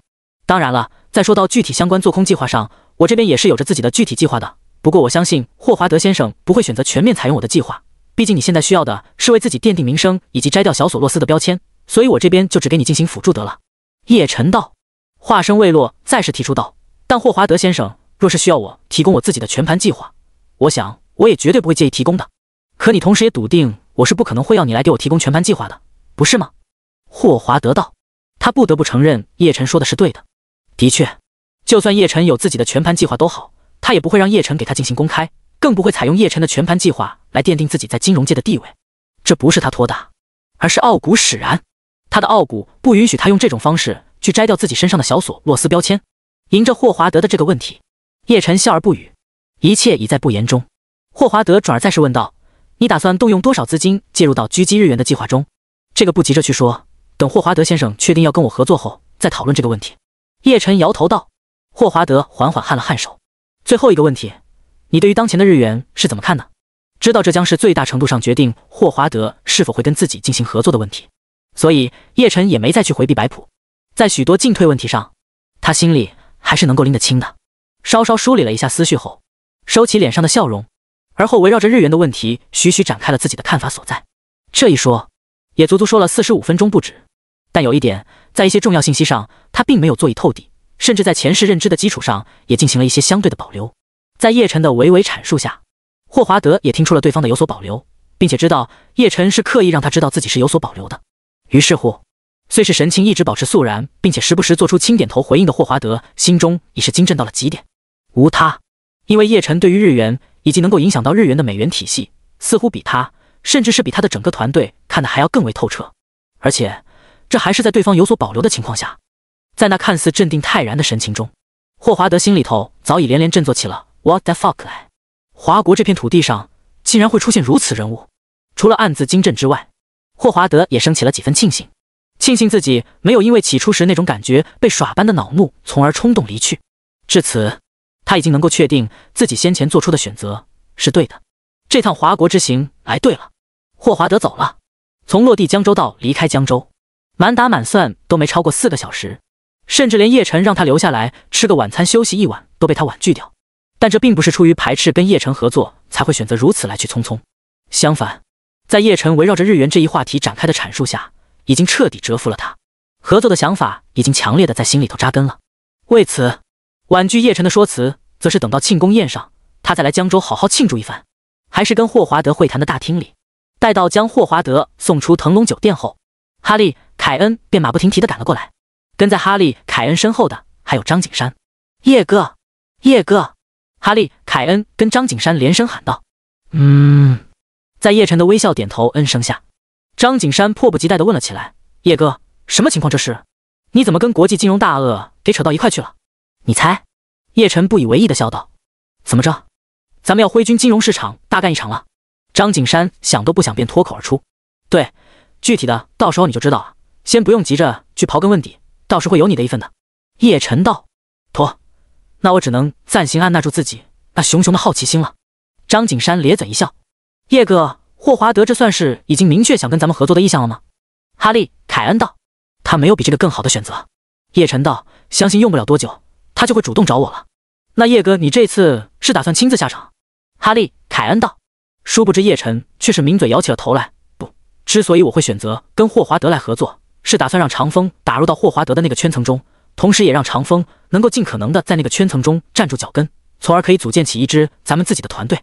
嗯，那要依叶哥你这么说的话，你是打算后续让长风去跟霍华德进行对接，把跟霍华德合作的计划交由他去负责？哈利·凯恩正起身来，对，不过不仅仅是长风，还有你，你俩直接跟霍华德对接。再就是长风若想在华尔街的圈子中站住脚跟，也还得你去给他打打配合才行。叶晨点头道：“闻言，哈利·凯恩微微挑眉，稍作思索后，叶哥，恕我直言，长风的家世身份合适踏足华尔街吗？他毕竟是华国高层的子嗣，这恐怕引发不少麻烦吧。混进华尔街的巨头圈子，并不意味就一定要抛头露面。我只是让他去打下一个基础而已，后续再推出其他人来挂帅。”叶晨笑着摇了摇头，再是补充一句：“如果哈利你是那么料的话，那面大旗也可以让你来扛。我，不不不，我就算了。” U 二集团还在等着我去掌舵的，哈利·凯恩立即苦笑表态，旋即话锋一转：“叶哥，你让我跟着霍华德来江州，应该不仅仅是因为跟霍华德之间的事吧？你肯定还有其他交代的，对吗？”“嗯，两件事，一件是抄底黄金，这会是一个绝对的收割机会。接下来几天，你要是不急着回英伦的话，你可以去跟长风好好交流交流。其次，我想以你为中心去组建一个除华国之外的资本组织，尽可能的去吸纳世界各地的新生代资本，甚至是到时我会给你提供一份名单。”让你去将他们吸纳进来。叶晨道，组建资本组织。哈利·凯恩心头大震。没错，资本力量在国际社会上究竟有多大的影响力，我相信你绝对清楚。而我要的，就是在世界上有着一定的话语权，这才是咱们能够在世界舞台上立于不败之地的筹码。叶晨肃然正声，他没说的是，资本力量可以影响世界 ZZ，甚至还能左右世界 ZZ，就如同犹太集团的存在般。不过他虽然没说。但哈利·凯恩也已经明显嗅出了他的野心所在，一时间口干舌燥的连连蠕动起了喉咙来。他知道叶晨的野心很大，可没想到会大到如此程度。怎么不认同我的想法跟说法？见哈利·凯恩没做声，叶晨不由打趣着：“再是如是一说。”不不不！哈利·凯恩忙慌说了三个不。我就是没想到叶哥你的野心竟是如此之大。我想只要条件允许，没有任何人会抗拒在世界上获得更大更高的话语权。叶晨淡淡一笑：“叶哥，你指啊，我打啊，无条件服从，无条件听命，没再就野心二字去多说。”哈利·凯恩眼神炙热地迎着叶晨的眼神道：“如叶晨所说，没人会抗拒在世界上获得更大的话语权。”他哈利、凯恩同样是不例外。当然了，如果这话不是出于叶晨，他一定会嗤之以鼻。这就好比一个社会底层说没人会抗拒站上财富的金字塔，说自己也想站上财富金字塔。虽然事实那么一回事，但从社会底层口中说出，那就是一句废话。可从叶晨嘴里说出来的话，性质则不然了。至少早已将叶晨给神化的他，无论叶晨表露出何等野心来，他都不会觉得那是天方夜谭。嗯，等你回英伦时，我会将计划及任务全盘交给你的。叶晨点头，微微笑作。话落，从沙发上站起身，景山叫一下长风纪委来一趟，咱们有段时间没好好聚过了，今晚就一块在腾龙酒店吃顿晚饭吧。妥了，我这就招呼他们。入夜，久违的团体小叙在腾龙酒店拉开了序幕。或许是心有灵犀似的，连同哈利、凯恩在内，众人全都没提有关于叶晨当下跟美利坚之间的事儿，甚至包括抄底黄金以及做空日元等等这些话题，餐桌上都没有做以任何提及，更多都是在回忆着往昔，慨叹着过去，展望着将来。然而，随着饭局进入到尾端，当叶晨说到已经开始规划退居幕后时，几人全都有种无所适从的感觉了。若是叶晨退居幕后，那他们又该如何？哪怕说甩手掌柜跟退居幕后看似大差不差，但归根起来，性质上无疑是截然不同的。甩手掌柜意味着叶晨还会一直活跃在大众视线中，而一旦退居幕后，将等同于彻底淡出公众世界了。你们说，如果叶哥隐退了，那咱们几个怎么办？腾龙酒店外，目送着叶晨的防弹红旗离去后，赵继伟眼神有些恍惚的在夜风中问声道：“张景山没作声，李长风也没作声，但彼此的神情却是异常凝重。”没认识叶哥之前，我的人生目标很明确，甚至是都已经规划好了。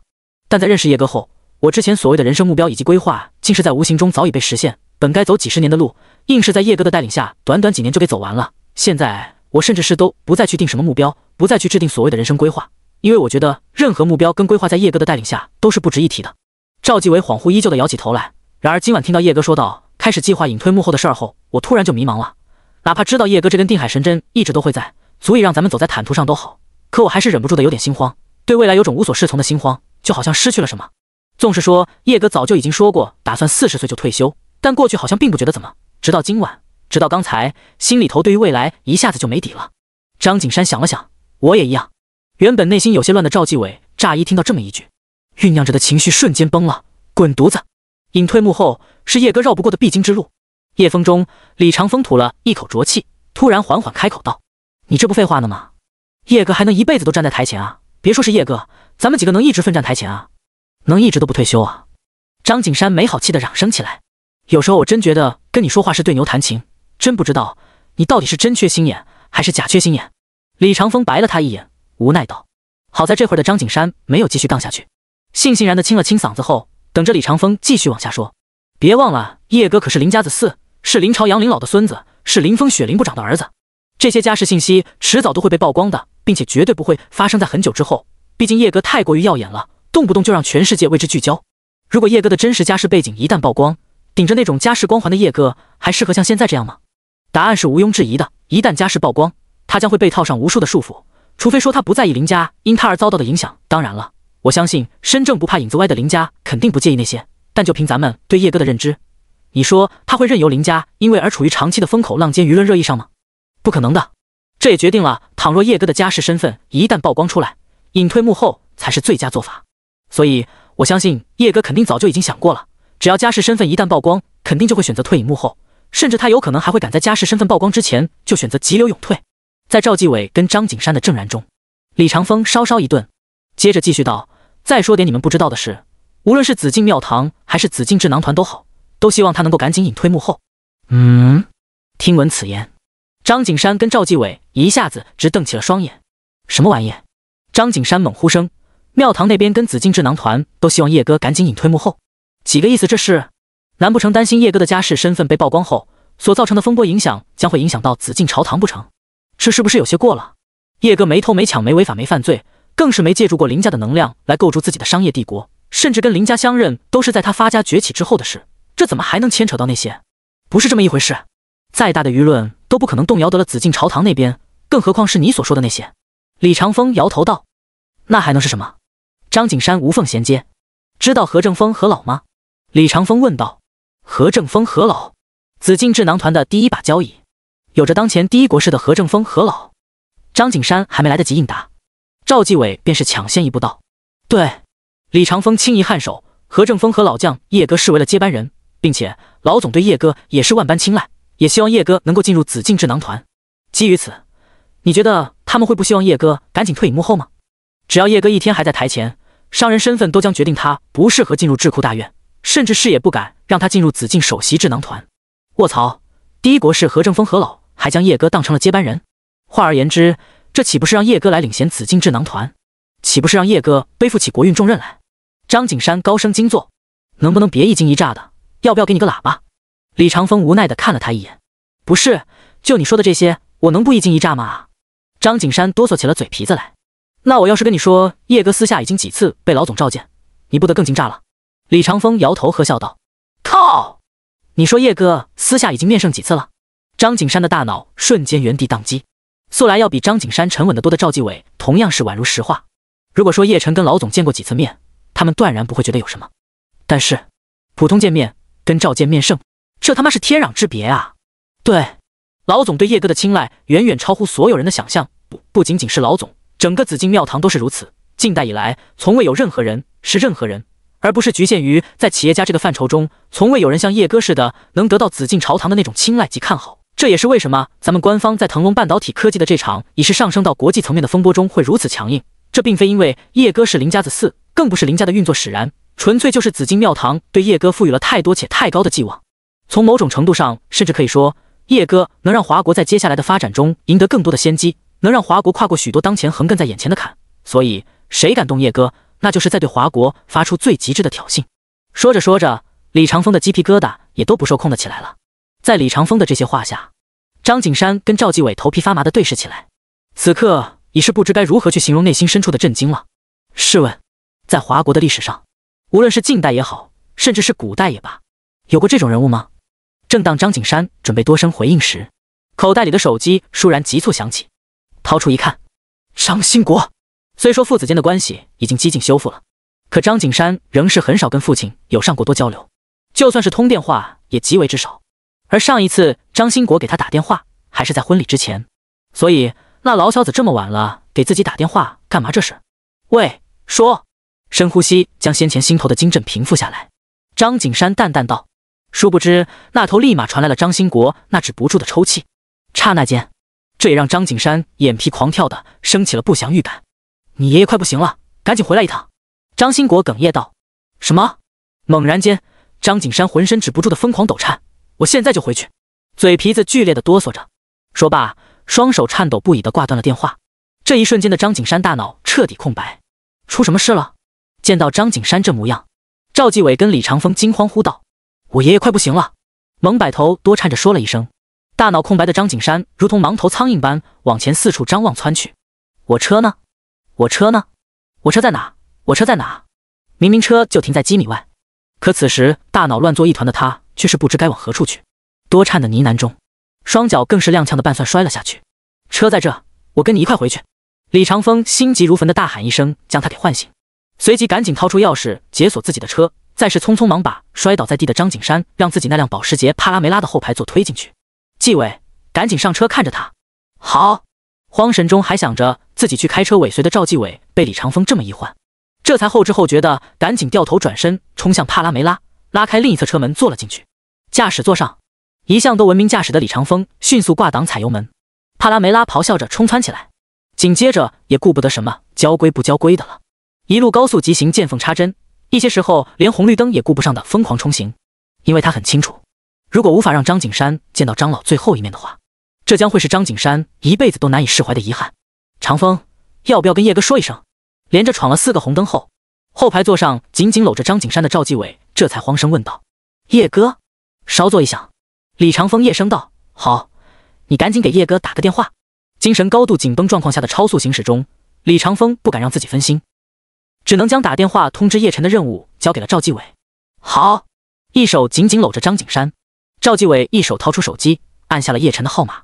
不多时，电话被接通，叶晨的声音传了过来：“继伟，怎么了？”尚未回到半山别墅区的叶晨迟疑问道：“叶哥，景山刚才接到电话，说张老快不行了。我跟长风现在正带着景山往张老的院子赶。”赵继伟快声说道：“什么？”叶晨本能的高声惊坐，不带那头的赵继伟应声：“我这就过去。”没有过多废话，叶晨立即挂断电话，冲着开车的唐松道：“唐松，掉头去张老的院子。”叶董，怎么了？这是？银声快速打着方向盘的唐松连忙问道：“张老快不行了。”在叶晨的回答下，唐松没再多说半句，脚下油门往下深踩起来。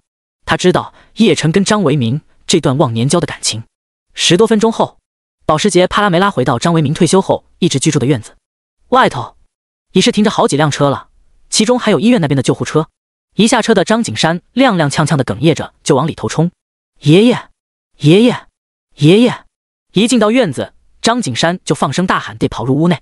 客厅里，张维民气若游丝的躺在沙发上，边上跪着泪流满面的张兴国，还有好些名双眼发红的医生。为什么在这杵着？为什么不送医院？他妈为什么？然而在看到这一场面后，张景山情绪失控的吼了起来，接着一把把跪在地上守着老爷子的张兴国给推开，全身发软的就要抓起张维民的手。爷爷，咱们去医院，去医院，没事的。您寿比南山，没事的，咱们这就去。张景山哽咽着哭泣道：“不，不用去了。”张维民虚弱的挤出苍白的笑容来，接着死死握住张景山的手：“别，别骂你爸，不是他不送我去医院，是我不愿意去。我自己知道自己的情况，大限到了，去去也没用。相比，相比起在医院离开，我更想在家。在家，在家，在家。”张景山一把鼻涕一把泪的猛点头，但马上又猛摇头：“不不，爷爷您肯定没事的，您长命百岁，寿比南山。”说完，再是冲着一旁医院那些权威的专家教授们大吼：“操！你们愣着干什么？愣着干什么？快快给我爷爷看看！别喊了！”在张景山的失控情绪下，张兴国抽泣不已的斥声起来：“已经给你爷爷看过了，刘副院长、唐教授他们也说不用去医院。你爷爷就是想跟你见上最后一面说说话，你能不能别这么混球？”紧着张兴国的话落，一旁那几位权威级的专家教授并没有不满张景山的不敬。为首的刘副院长红着眼道：“景山，咱们理解你的心情，好好陪陪老书记。”他刚才就一直在念叨你。说完，刘副院长给其他几人使了个眼色，旋即彼此不动声色地走出屋，但并没有离去，而是留在了院子中。刘副院长、唐教授，怎么？本想跟着进去的李长风跟赵继伟一看到走出来的几名医院人员，顿时猛地住步。李长风急忙看向熟悉的刘副院长跟唐教授开声，可没等把话说完，叶晨的防弹红旗到了，几人本能的下意识齐齐转头看去。叶哥，叶哥，叶董。看着一脸着急、快步走路的叶晨，李长风、赵继伟以及刘副院长、唐教授，还有其他几名医院人员连声急忙道：“匆匆点头的叶晨，先是远远的朝屋内看了一眼，再是止步问道：怎么回事？老书记不是好好的的吗？怎么就……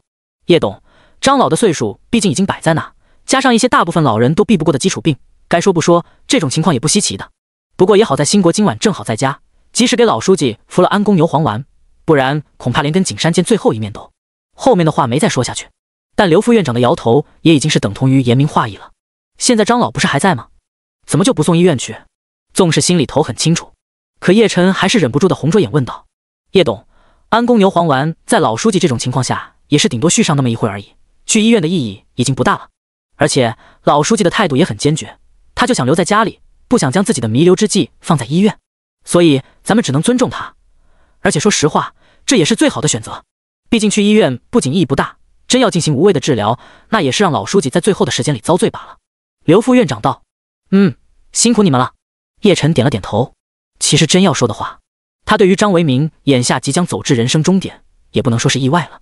作为前世经历了与世长辞的重生者，当张老爷子去年年末给他打那通电话，说是预感到大限将至时，前世本就经历过那些的叶晨便知张老爷子的寿限肯定是已经无几。并且是大罗金仙都回天乏术的那种了，甚至说点玄乎些的，若不是有张景山跟沈瑶结婚仪式冲喜，张老爷子能不能撑到现在都还得两说。景山的情绪怎样？叶晨看向赵继伟跟李长风，他开始接到消息时都找不着北，明明车就在一旁不远，他还到处找车去，最后还两脚半算摔了一跤。后来是长风见状，赶紧把他带上车，我在后排负责稳住他，长风负责开车，这才把他带回来的。赵继伟道，话声刚一落下。刺耳的急刹声，再是顺着灯光的亮起，从院子外头响作。紧接着，就见沈瑶无比慌乱的狂奔进来。叶董，慌张神色下，仅仅只是喊了一声“叶董”的沈瑶，也顾不得其他人了，急忙冲入了屋内。叶哥，你跟张老师忘年交，你要不要去见见他？李长风呼了口气，看向叶晨道：“先让景山跟沈瑶和张老说说话吧，他们才是最重要的。虽然明知道自己这个角度什么都看不了，但叶晨还是不由在本能的驱使下往屋里头张望了几眼，随后缓缓摇头道：“此时的屋内，张维民正紧紧地抓着张景山跟沈瑶的手，做着人生当中最后的交代。当然了，无非就是让他们要白头偕老、恩爱这些。只是在老爷子表述到没能抱上重孙的遗憾时，早已泪流满面的张景山那就到了极点。哪怕他知道老爷子过往的夙愿就是能看着他成家，能抱上重孙。”可他自始至终都没太在意那些，直至这一刻，在老爷子亲口说出遗憾后，他才感到无尽的愧对与自责。待到老爷子提及到叶晨时，沈瑶才挂泪道：“爷爷，叶董也来了，他现在就在屋外。”小叶来了，不曾想听到叶晨来了的张维明瞬间犹如回光返照般，不，不该说是犹如，而是的确回光返照了。这也预示着弥留的最终倒计时正式开始。快，快，快让小叶进来！看到老爷子精神瞬间重新焕发的张景山跟沈瑶顿即哆嗦起来，他们显然也知道这一情况代表着什么，而一旁的张兴国则是赶紧应声，转身快步往外走了出去。张叔，张叔，张兴国这一跑出来，叶晨跟赵继伟、李长风三人立即连声喊坐，一一回应后，张兴国着急冲着叶晨道：“小叶，老爷子说想见见你，方便吗？我也想跟张老见见。”扔出这句话。叶晨动身，赶在张兴国身前往屋里快步走入。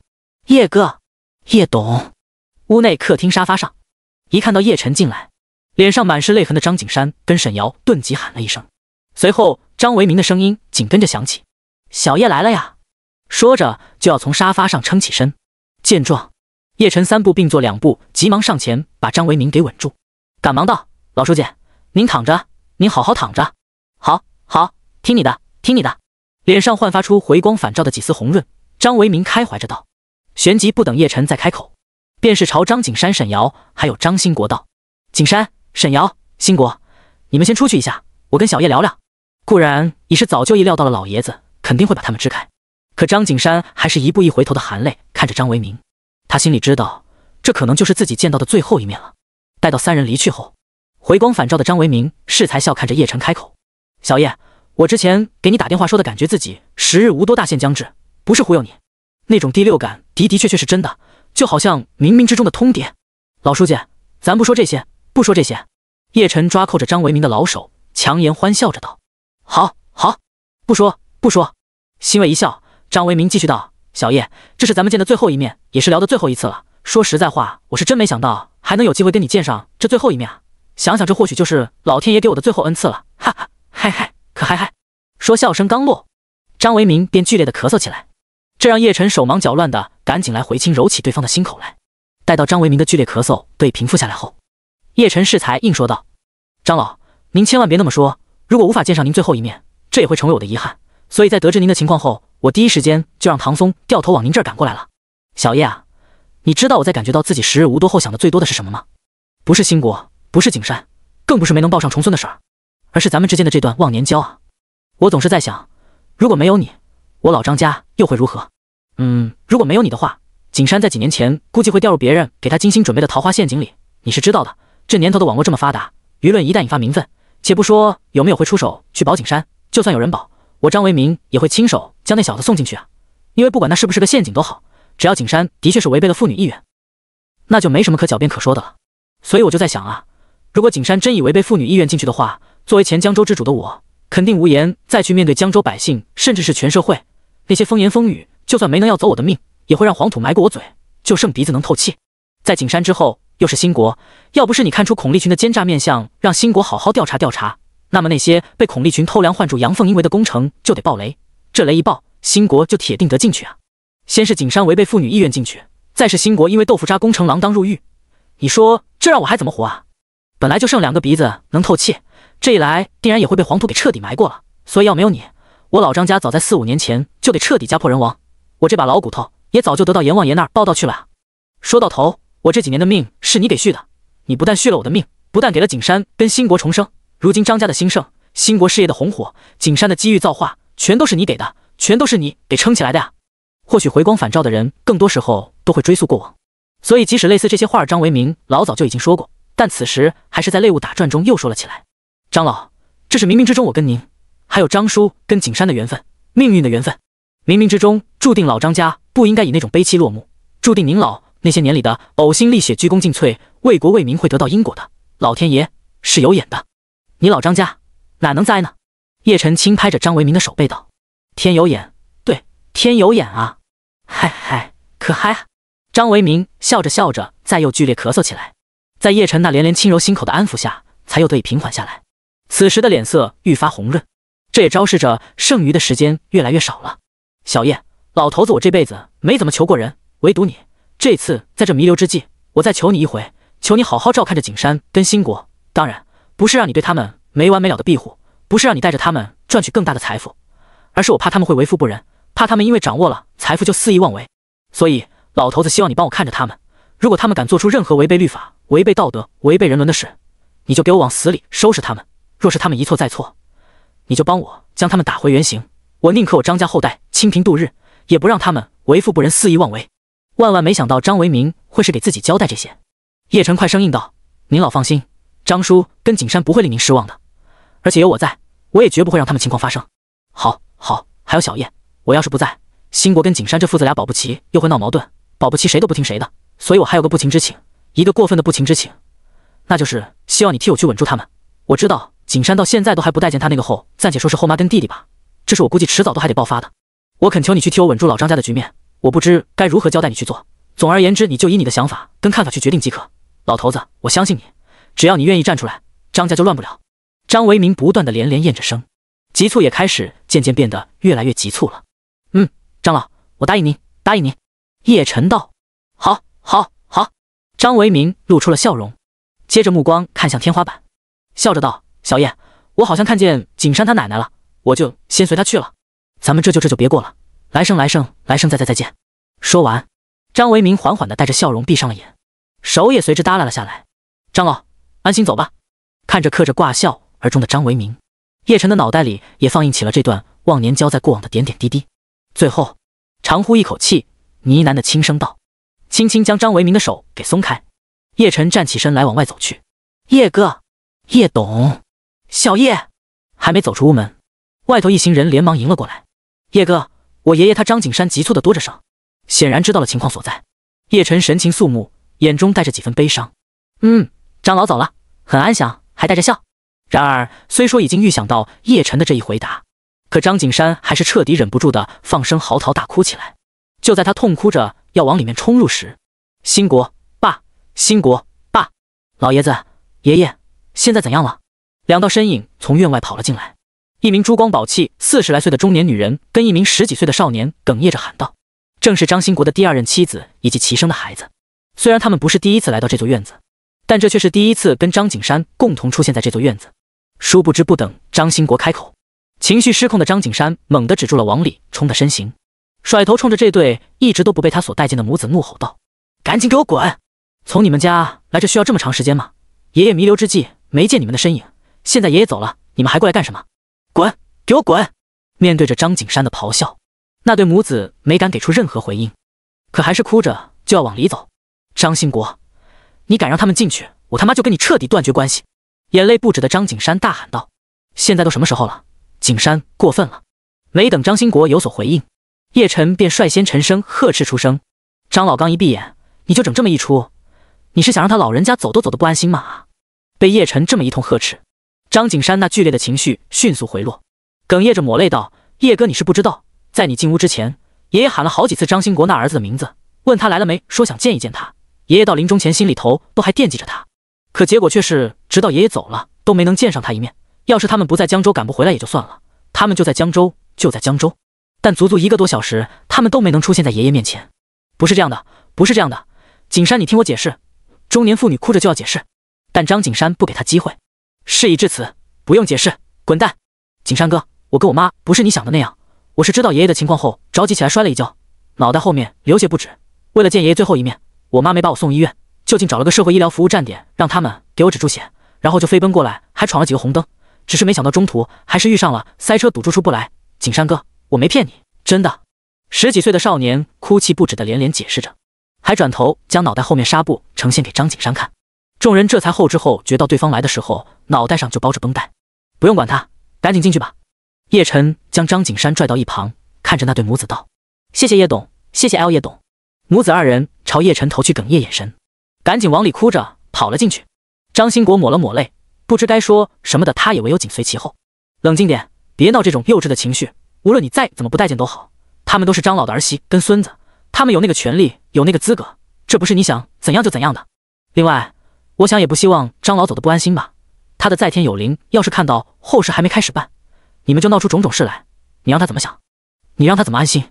将语气平复下来，叶晨好声劝说着：“叶哥，我没爷爷了，我没爷爷了。自从我妈走后，我都是跟在爷爷身边的，以后我再也见不到他了，再也见不到了。”哇的一声，跟个孩子似的，张景山扑到了叶晨身上，紧紧抱住叶晨，埋头在叶晨的肩上放声大哭道：“此时此刻。”不知该如何去安慰的叶晨，唯有抬手轻拍着对方的后背。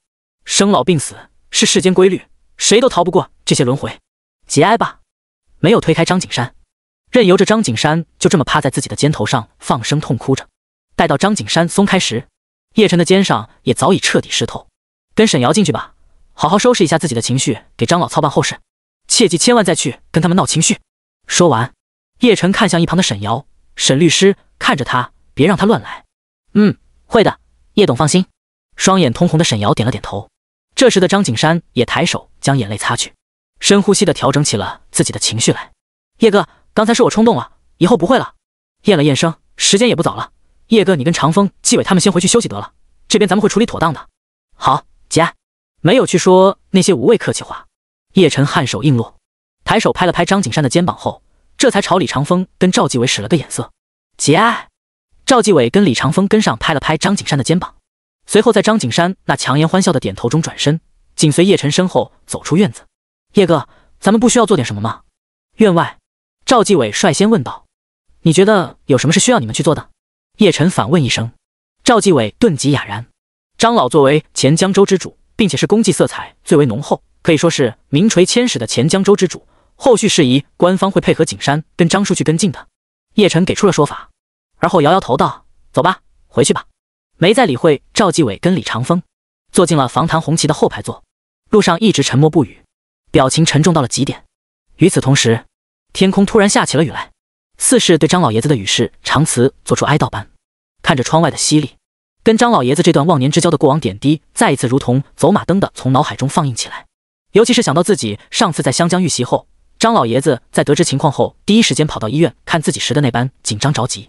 叶晨便是控制不住地再红起了眼。张老，一路走好。面朝窗外，叶晨咽声轻喃。不知不觉，防弹红旗回到了半山别墅区。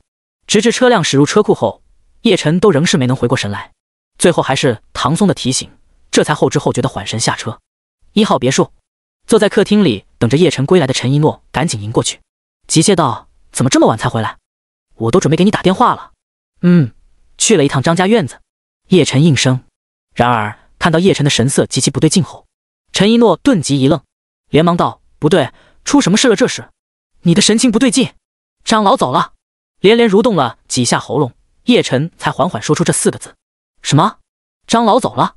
陈一诺很是明显的娇躯一颤。对于那位备受江州百姓爱戴的前江州之主，由于叶晨的原因，他有的也不仅仅是敬意这么简单。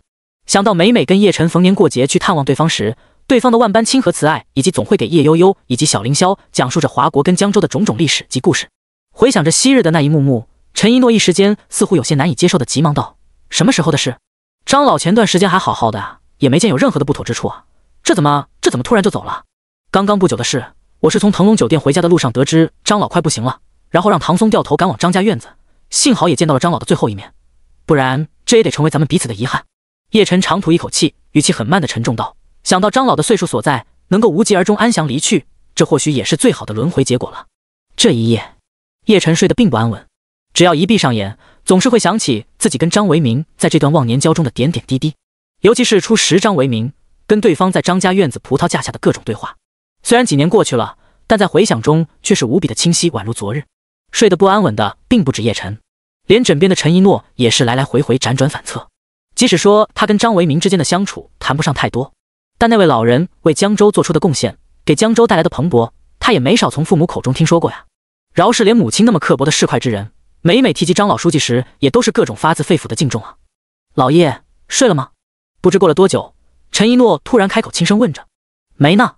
叶晨回了一句。张老的追悼会什么时候进行？我也想过去出席参加。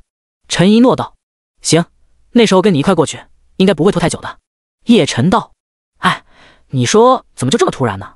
上次见他时，他的精气神也都还好好着啊。去年那会我不是跟你说过吗？张老那天给我打电话，让我帮景山挑成亲日子时，就有说到他感觉自己时日无多了。其实人到了那种岁数，类似这种直觉一向都挺准的。所以从那时候开始，我就已经想过这种结果了。万幸的是，他老人家撑到了景山完婚，要不然这才是最大的遗憾。”叶晨道：“可惜的是他没能抱上重孙。很久之前，他老人家就有跟我说过，要是能活到景山完婚，并且抱上重孙，那这辈子就知足了。”陈一诺翻了翻身：“你说景山那小子怎么想的？就这岁数了，还都不考虑生儿育女的事，也就是你催他结婚而已。不然恐怕他到现在都还没跟沈瑶结婚。那样一来的话，张老走的又得有多不舍呀！没能抱上重孙，张老遗憾归遗憾，看能够看到景山完全，总归也是知足了。至于景山怎么还不考虑生儿育女的事？”他跟沈瑶肯定有自己的想法，保不齐他们现在已经在考虑要孩子，甚至是可能已经怀上了也一定。不过这些就不是咱们该去操心的了。叶晨道：“老叶。”陈一诺再是轻唤一声：“嗯，你爷爷的岁数比张老还要大。本来我没想过那些的，但今晚知道张老家贺后，我就止不住的有些担心他老人家的身体。”陈一诺道：“他老人家的身体有医疗团队长期，甚至是实时跟进着。就好比我这趟入京回了一趟四合院，跟他老人家稍微聊得晚点，保健医生跟管家就来催促好几回了。”所以不用过于担心，毕竟担心也没用，也担心不来，顺其自然就好。叶晨道，话罢，似是不想再让陈一诺胡思乱想，轻轻揉了揉的家人的脑袋。叶晨几笑道：“好了，别瞎想了，赶紧睡吧。”嗯，好。是日，关于前江州之主驾鹤西去的消息，在江州相关部门以及张兴国做出的讣告中流传到了网络。对于这位为江州的经济发展做出过不少贡献，赢得了无数江州人民拥戴有加，甚至是在地校教材中都有一席之地的老人。网上绝大多数人都是表以哀悼之情，但也出现了一小撮搞事分子，拎出了张维民张老书记跟亨达之主徐家的事来说，言说亨达就是在张维民时任江州之主石腾飞的，并且昔日亨达的很多项目都是张维民给批的，由此扯上了亨达之所以会有今时今日负债万亿的机会，绝对少不了张维民的功劳。在那些阴阳怪气的言论下，一些新闻媒体更是居心不良的对此去进行隐晦的跟进。待到得知此事后，一怒之下的叶晨直接发了一条微博。任何胆敢去造谣污蔑重伤前江州之主张维民张老书记的，就算倾家荡产，也要让其付出惨重代价。此微博一出，顿时那些恶意重伤张维民的言论跟一些夹带私货的媒体内容迅速消失不见。毕竟叶晨跟张维民的忘年交一直都不是什么秘密。更重要的是，叶晨不同于其他名人，其他名人或许只会恫吓一下，而叶晨那厮肯定会说到做到啊！就在江州因张维民的与世长辞而纷纷哀悼时，中东西亚那边。历时几个月的新王储人选尘埃落定，过去排在第五顺位的继承人萨尔曼正式加冕成了卡尔塔王室的新王储。此消息一出，迅速被华国这边同步到了华国互联网上，并且迅速在热搜上占了一席之地。一号别墅里，来电声响起：“哈利·凯恩，叶哥。”嗯，叶晨轻笑应声：“叶哥，他刚得知景山爷爷走了。”那头的哈利·凯恩沉重道：“嗯，他老人家走得很安详。”无疾而终，也算是一个好的轮回归宿了。叶晨应道：“我想给景山打个电话，但不知道该怎么说。”哈利·凯恩道：“不用太刻意，想怎么说就怎么说得了。”叶晨道：“行，好，听你的。”叶晨稍作迟疑的问了句：“你给我打电话就为了说这事？”也不完全是。哈利·凯恩讪讪一应：“叶哥，萨尔曼已经顺利加冕成为卡尔塔王室的新王储了，就在刚刚已经被世界各地同步报道了。你知道此事了吗？”他成功加冕卡尔塔王室的新王储，不早就已经是板上钉钉的事了吗？没什么值得大惊小怪的。叶晨笑说道：“我刚才给他打了祝贺电话，他说计划在最快的时间内进行首次出访，第一站出访就是华国，想让你作陪。嗯，因为你之前说过，他要是想对以王储身份对你进行访问，就等到腾龙集团挂牌成立后再做访问。但碍于成龙集团还得好几个月才会挂牌成立，所以他就想先在首趟出访华国时让你来作陪，也想借此向外界释放出他对华国以及对你的态度所在。”哈利·凯恩道，殊不知叶晨听到顿时乐了。是他让你给我打电话的，让你来试探一下我的态度如何，看会不会反对他的这一计划想法。不得不说，叶晨这一刻的感觉很怪。是的，一种说不出的违和怪异。堂堂卡尔塔王室的新王储，想让自己这位东道主进行作陪出访华国，还得来试探一下自己的态度如何，看自己会不会反对。说真的，违和之余，叶晨也有种啼笑皆非的感觉了。可大致是这个意思。叶哥，你看如何？不同于叶晨的违和怪异，啼笑皆非。对哈利·凯恩来说，这甚至是理应如此。因为若不是叶晨，萨尔曼别说成为王室新王储，怕是早就化作了一缕青烟。当然，或许这种恩情不至于使得萨尔曼会如此这般，毕竟报恩的方式有很多种，绝不至于会让萨尔曼如此这般。但是，相比起叶晨那如同上帝般的神通呈现以及能力呈现，报答已经是其次了。更重要的是得牢牢谨记着跟叶晨之间的这段友情。所以，哈利·凯恩是完全能够理解萨尔曼的。很简单，换作是他也会如此。不等叶晨发话应答，哈利·凯恩再试道：“叶哥，其实除此之外，萨尔曼还有另外一层意思的。基于腾龙半导体科技跟美利坚官方之间的这场风波，他想向外界公然释放对你的力挺态度。也许这不能改变美利坚在这一事件上的后续手段跟态度，但最起码能够让美利坚的那些盟友多加斟酌斟酌。他征求过王室的同意了。”叶晨挑了挑眉：“这个问题我也问过他了，他的回答是已经跟王室有过交流了，而且他只是让你作陪而已。”并没有去对腾龙半导体科技进行走访，这也算是打个擦边球，让美利坚只能干瞪眼的擦边球。如此一来，美利坚也就没法就此去大做文章。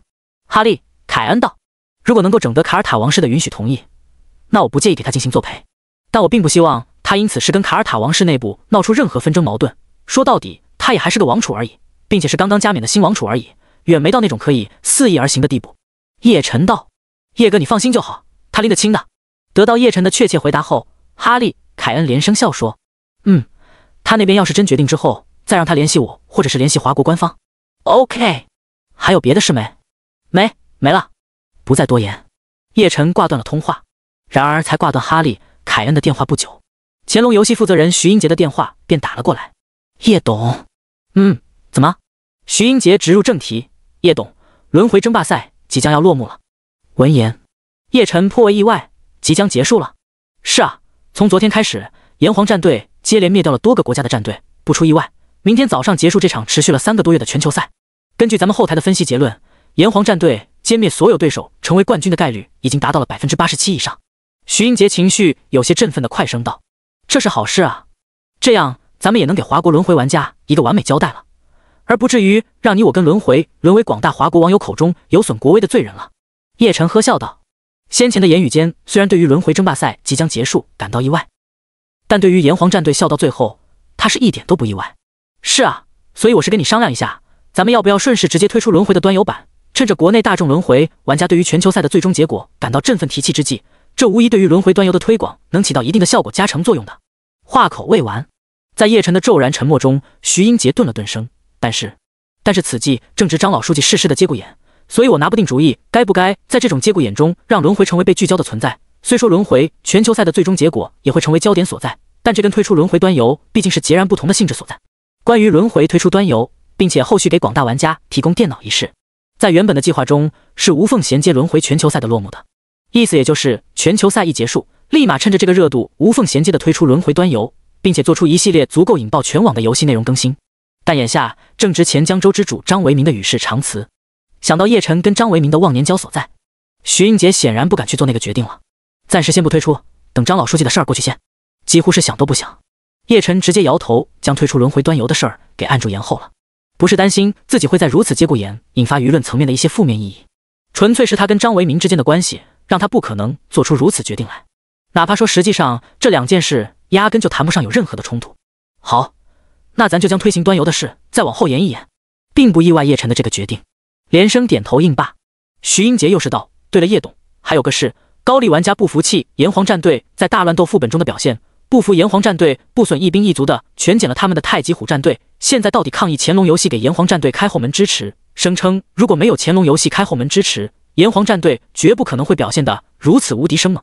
为此，高丽服务器的玩家要求咱们乾隆游戏给他们高丽玩家一个交代，也给其他所有国家的玩家一个交代，并且还声称，如果乾隆游戏不给他们一个交代。”就霸完轮回，这是在那些高丽玩家以及高丽媒体的带节奏下，已经在外网上掀起了风波来，也使得很多质疑的声音相继而起。